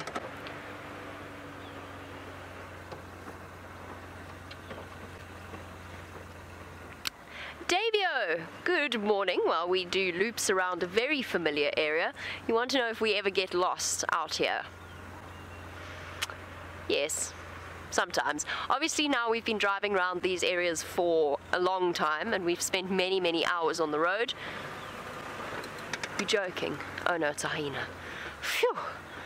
I thought she was on top of my vehicle tracks. Um, we yes, we get lost. Uh, we it's been a long time since I've been misplaced. What often happens is we're on, we know where we are, but we don't necessarily know what the road is called. I'm like that. I, I, do that particularly up in Arathusa in the top northwestern corner, and sometimes on Cheetah Plains as well. Although Cheetah Plains is slightly simpler.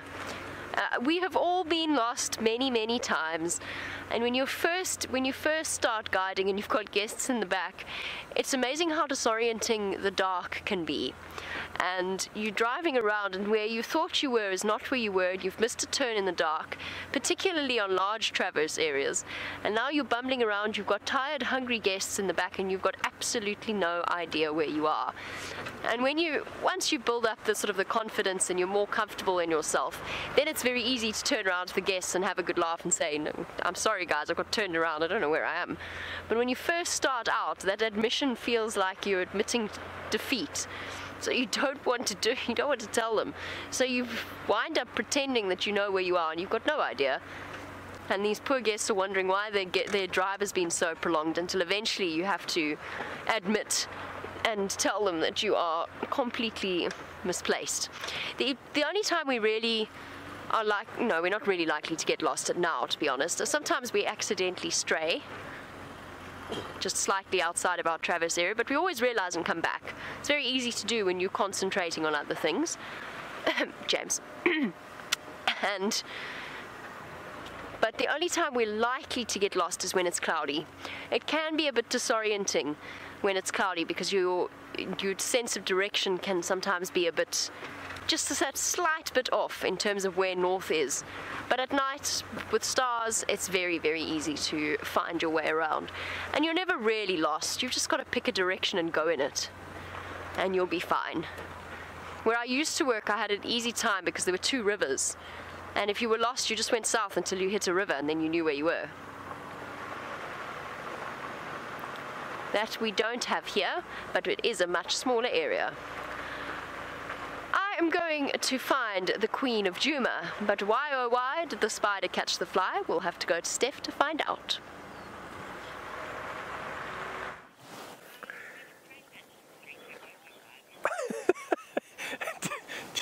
Jamie, I, I, tell you, she comes up with the most imaginative things. that is indeed a praying mantis that's just busy finishing off a fly and on this Peltophorum, this African weeping wattle, absolutely magnificent showcase of flowers. And what you're seeing there is a pretty unique praying mantis. I haven't seen this praying mantis yet. What makes it unique is the fact that it has exposed wings. Most of the praying mantis use their wings as part of their camouflage. This particular praying mantis has no need for it. For some reason, and I can only imagine it's probably as a bit of a lure. Its primary prey species would be other insects with exposed wings and I suppose we all like to gravitate towards what we know and I would imagine that this particular praying mantis attracts its prey by looking like something else and then catches it.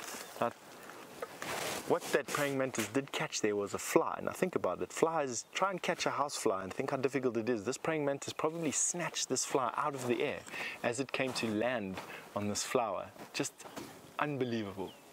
today's just been one of those amazing walks where we've been able to really start showing you all the magnificence around summertime. This is my favorite time of year, leading towards January, which as a oh, favorite part of the year is summer, but leading to my favorite month in January, just with the absolute profusion and diversity of life.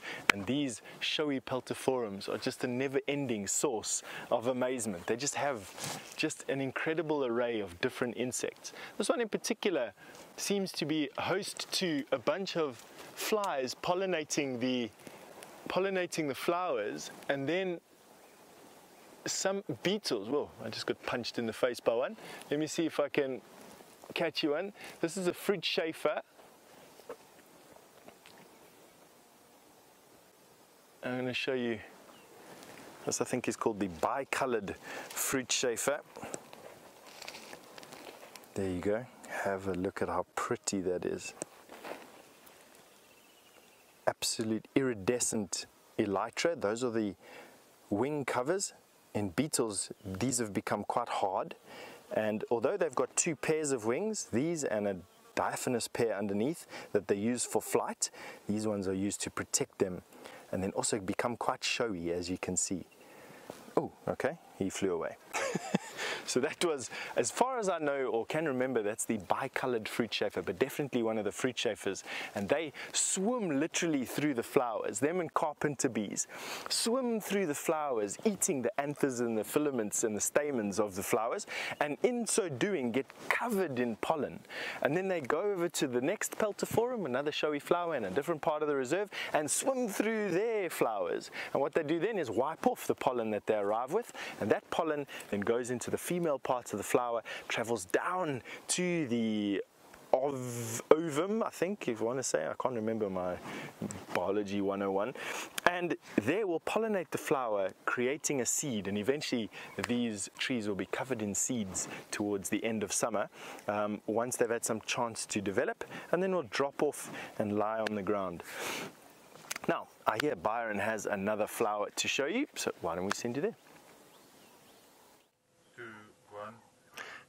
And look at what we have found these beautiful flowers. Now, this is a wild hibiscus. Really, really beautiful yellow flowers with this incredibly dark maroon color on the inside.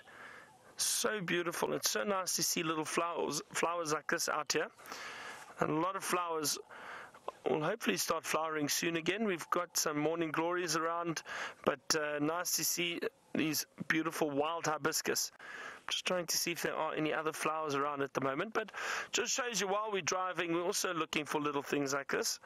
Um, and I know Stef also enjoys the flowers while he's out on bushwalk, but um, but it is wonderful to be able to see beautiful flowers like this out in the middle of the bush. It is incredible to see them. We've had a lovely morning. So happy we got to see those little wildebeest calves, that newborn little calf. Wasn't that just incredible? Just going to jump back in here quickly. That was a that was a highlight for me, definitely. Um, seeing a newborn little calf. And then, um, and uh, Jamie had all the luck with the cats this morning.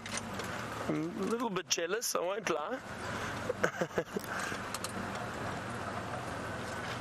even though the female leopard Karula evaded her, I'm sure we might have some luck this afternoon, perhaps. But um, anyway, we'll see you out on safari this afternoon again for our sunset safari. So from myself and Hat, uh, my cameraman this morning, I hope you've had a wonderful morning with us. Um, goodbye everyone, and let's head back to Jamie. We'll see you all later. Oh, what a wonderful morning it has been from our lion, surprise lion, and then surprise leopard in the form of Shadow. Wonderful to catch up with her once again. And then almost a sighting of Karula but we'll have to, I think, for the sunrise safari, settle for a view of a steenbok instead. Little male, tiny little thing. Oh. Hello, gorgeous. You can see its little dagger like horns sticking out of the top of its head. Be careful, little Steenbok. Somewhere not too far away from where you are now, the Queen is lurking, perhaps intent on searching out and finding breakfast. I'm sure she's in here. I know she's in here. I'm still so frustrated with myself. I missed her. Just one bad decision. Not bad decision, wrong decision. This is a very relaxed little Steenbok. How lovely. What a nice way to finish off our sunrise safari.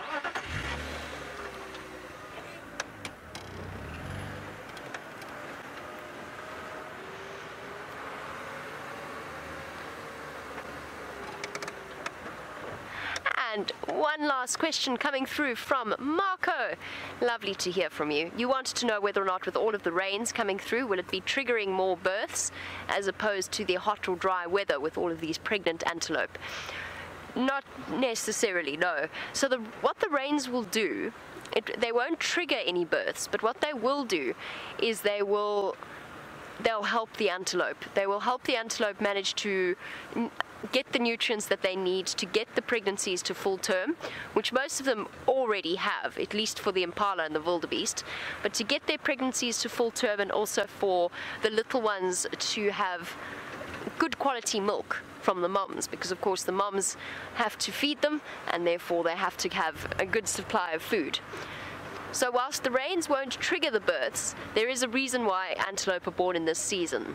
Most, almost all of the antelope, if without, even if they don't have a strict breeding season like the impala and the wildebeest, almost all of them will have a peak birthing season in the rainy season, and that makes total sense that nature's um, arranged things that way because it's the best time of year for the antelope. There's more cover to hide behind, and there's more food and therefore it makes more sense to have your babies during the rainy season.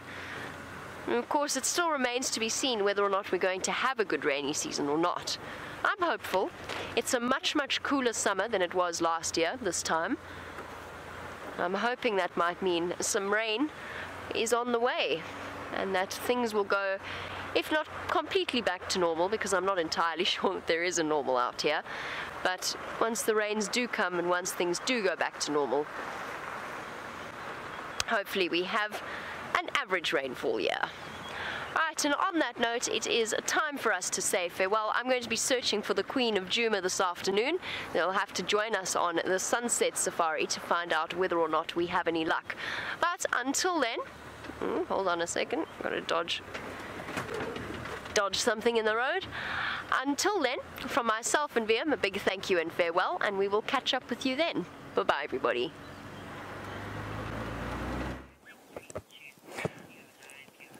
Now we're still with this magnificent peltophorum tree and we've just moved on to a different flower and I want to show you three different insects over here that are helping to pollinate. For those of you who watch the show religiously, you'll know that Mr. James Hendry has a tent and in his tent he has a giraffe skull and in his giraffe skull is the nest of a bunch of stingless bees, Mopani bees. We have some Mopani bees that are collecting pollen. Here we go. Have a look at that. Now, you see them at their nest, very often you don't get to see them collecting pollen. And you'll notice those yellow pollen sacs at the base of the back legs were full with pollen. So the bee itself will crawl into the flowers and pack pollen into these sacs at the bottom of their, of their, of their legs, then transport those pollen back to the hive, and the pollen is mixed with saliva and water, and then basically it's distilled. No, not distilled, it's evaporated into honey at the end of the day, and that's what the resultant honey is. And you can see them here, at work. So somewhere around here, there's an Mopani bee colony. Equally, there is, or there was a fly that was busy pollinating these flowers, and then there is a species of daytime moth, or burnet, here. Have a look at that. That is a moth, camouflaged as a beetle, and almost exactly the same shade of color as these flowers are. Now, Stephanie, you wanted to know um, is, it possible, is it possible to become a field guide past 40 or when you're getting a little bit older, or is it exclusive to training as a young person. Stephanie, you can become a field guide here at any age. In actual fact, I've got very many of my friends that only got to uh, or eligible for field guiding training when they were in their 40s, even some in their 50s. I have two or three of my African friends that have retired as field guides, and many, many field guides across Africa only really get into their prime and into their swinging in their late 40s and in their 50s. So absolutely, you can get into field guiding not only in Africa, but in any country, um, as far as I'm aware, as far as I believe, uh, at any time. It requires just wanting to become a naturalist or being a naturalist and being interested in things like this. The training itself has no um, maximum age restriction. It has a minimum age restriction of 21, but no maximum age restriction to commercially field guide, uh, at least in South Africa. Um, the reason why there's a minimum minimum age is simply for a driver's permit. Uh, so people who drive, you've seen all the Land Rovers around over here with their guides that drive their guests around in the car. They need to have a special permit to drive around uh, in South Africa. That permit requires a minimum age limit of 21. That's basically the only restriction um, for that. Now, we are coming to the end of the show, and it's at this time of the day that I just want to say thank you very, very much for all your support uh, from myself and Jandre, but also for Byron and Jamie, and for all the FC ladies. I just want to say thank you very, very much. Keep on watching, keep on asking your questions, keep on the support. We really, really value it. Now, we're going to be up this afternoon again, um, Central Africa time at 4 o'clock to 7 o'clock. We will see you. So, wherever you are in this world, have a fantastic day further. Goodbye.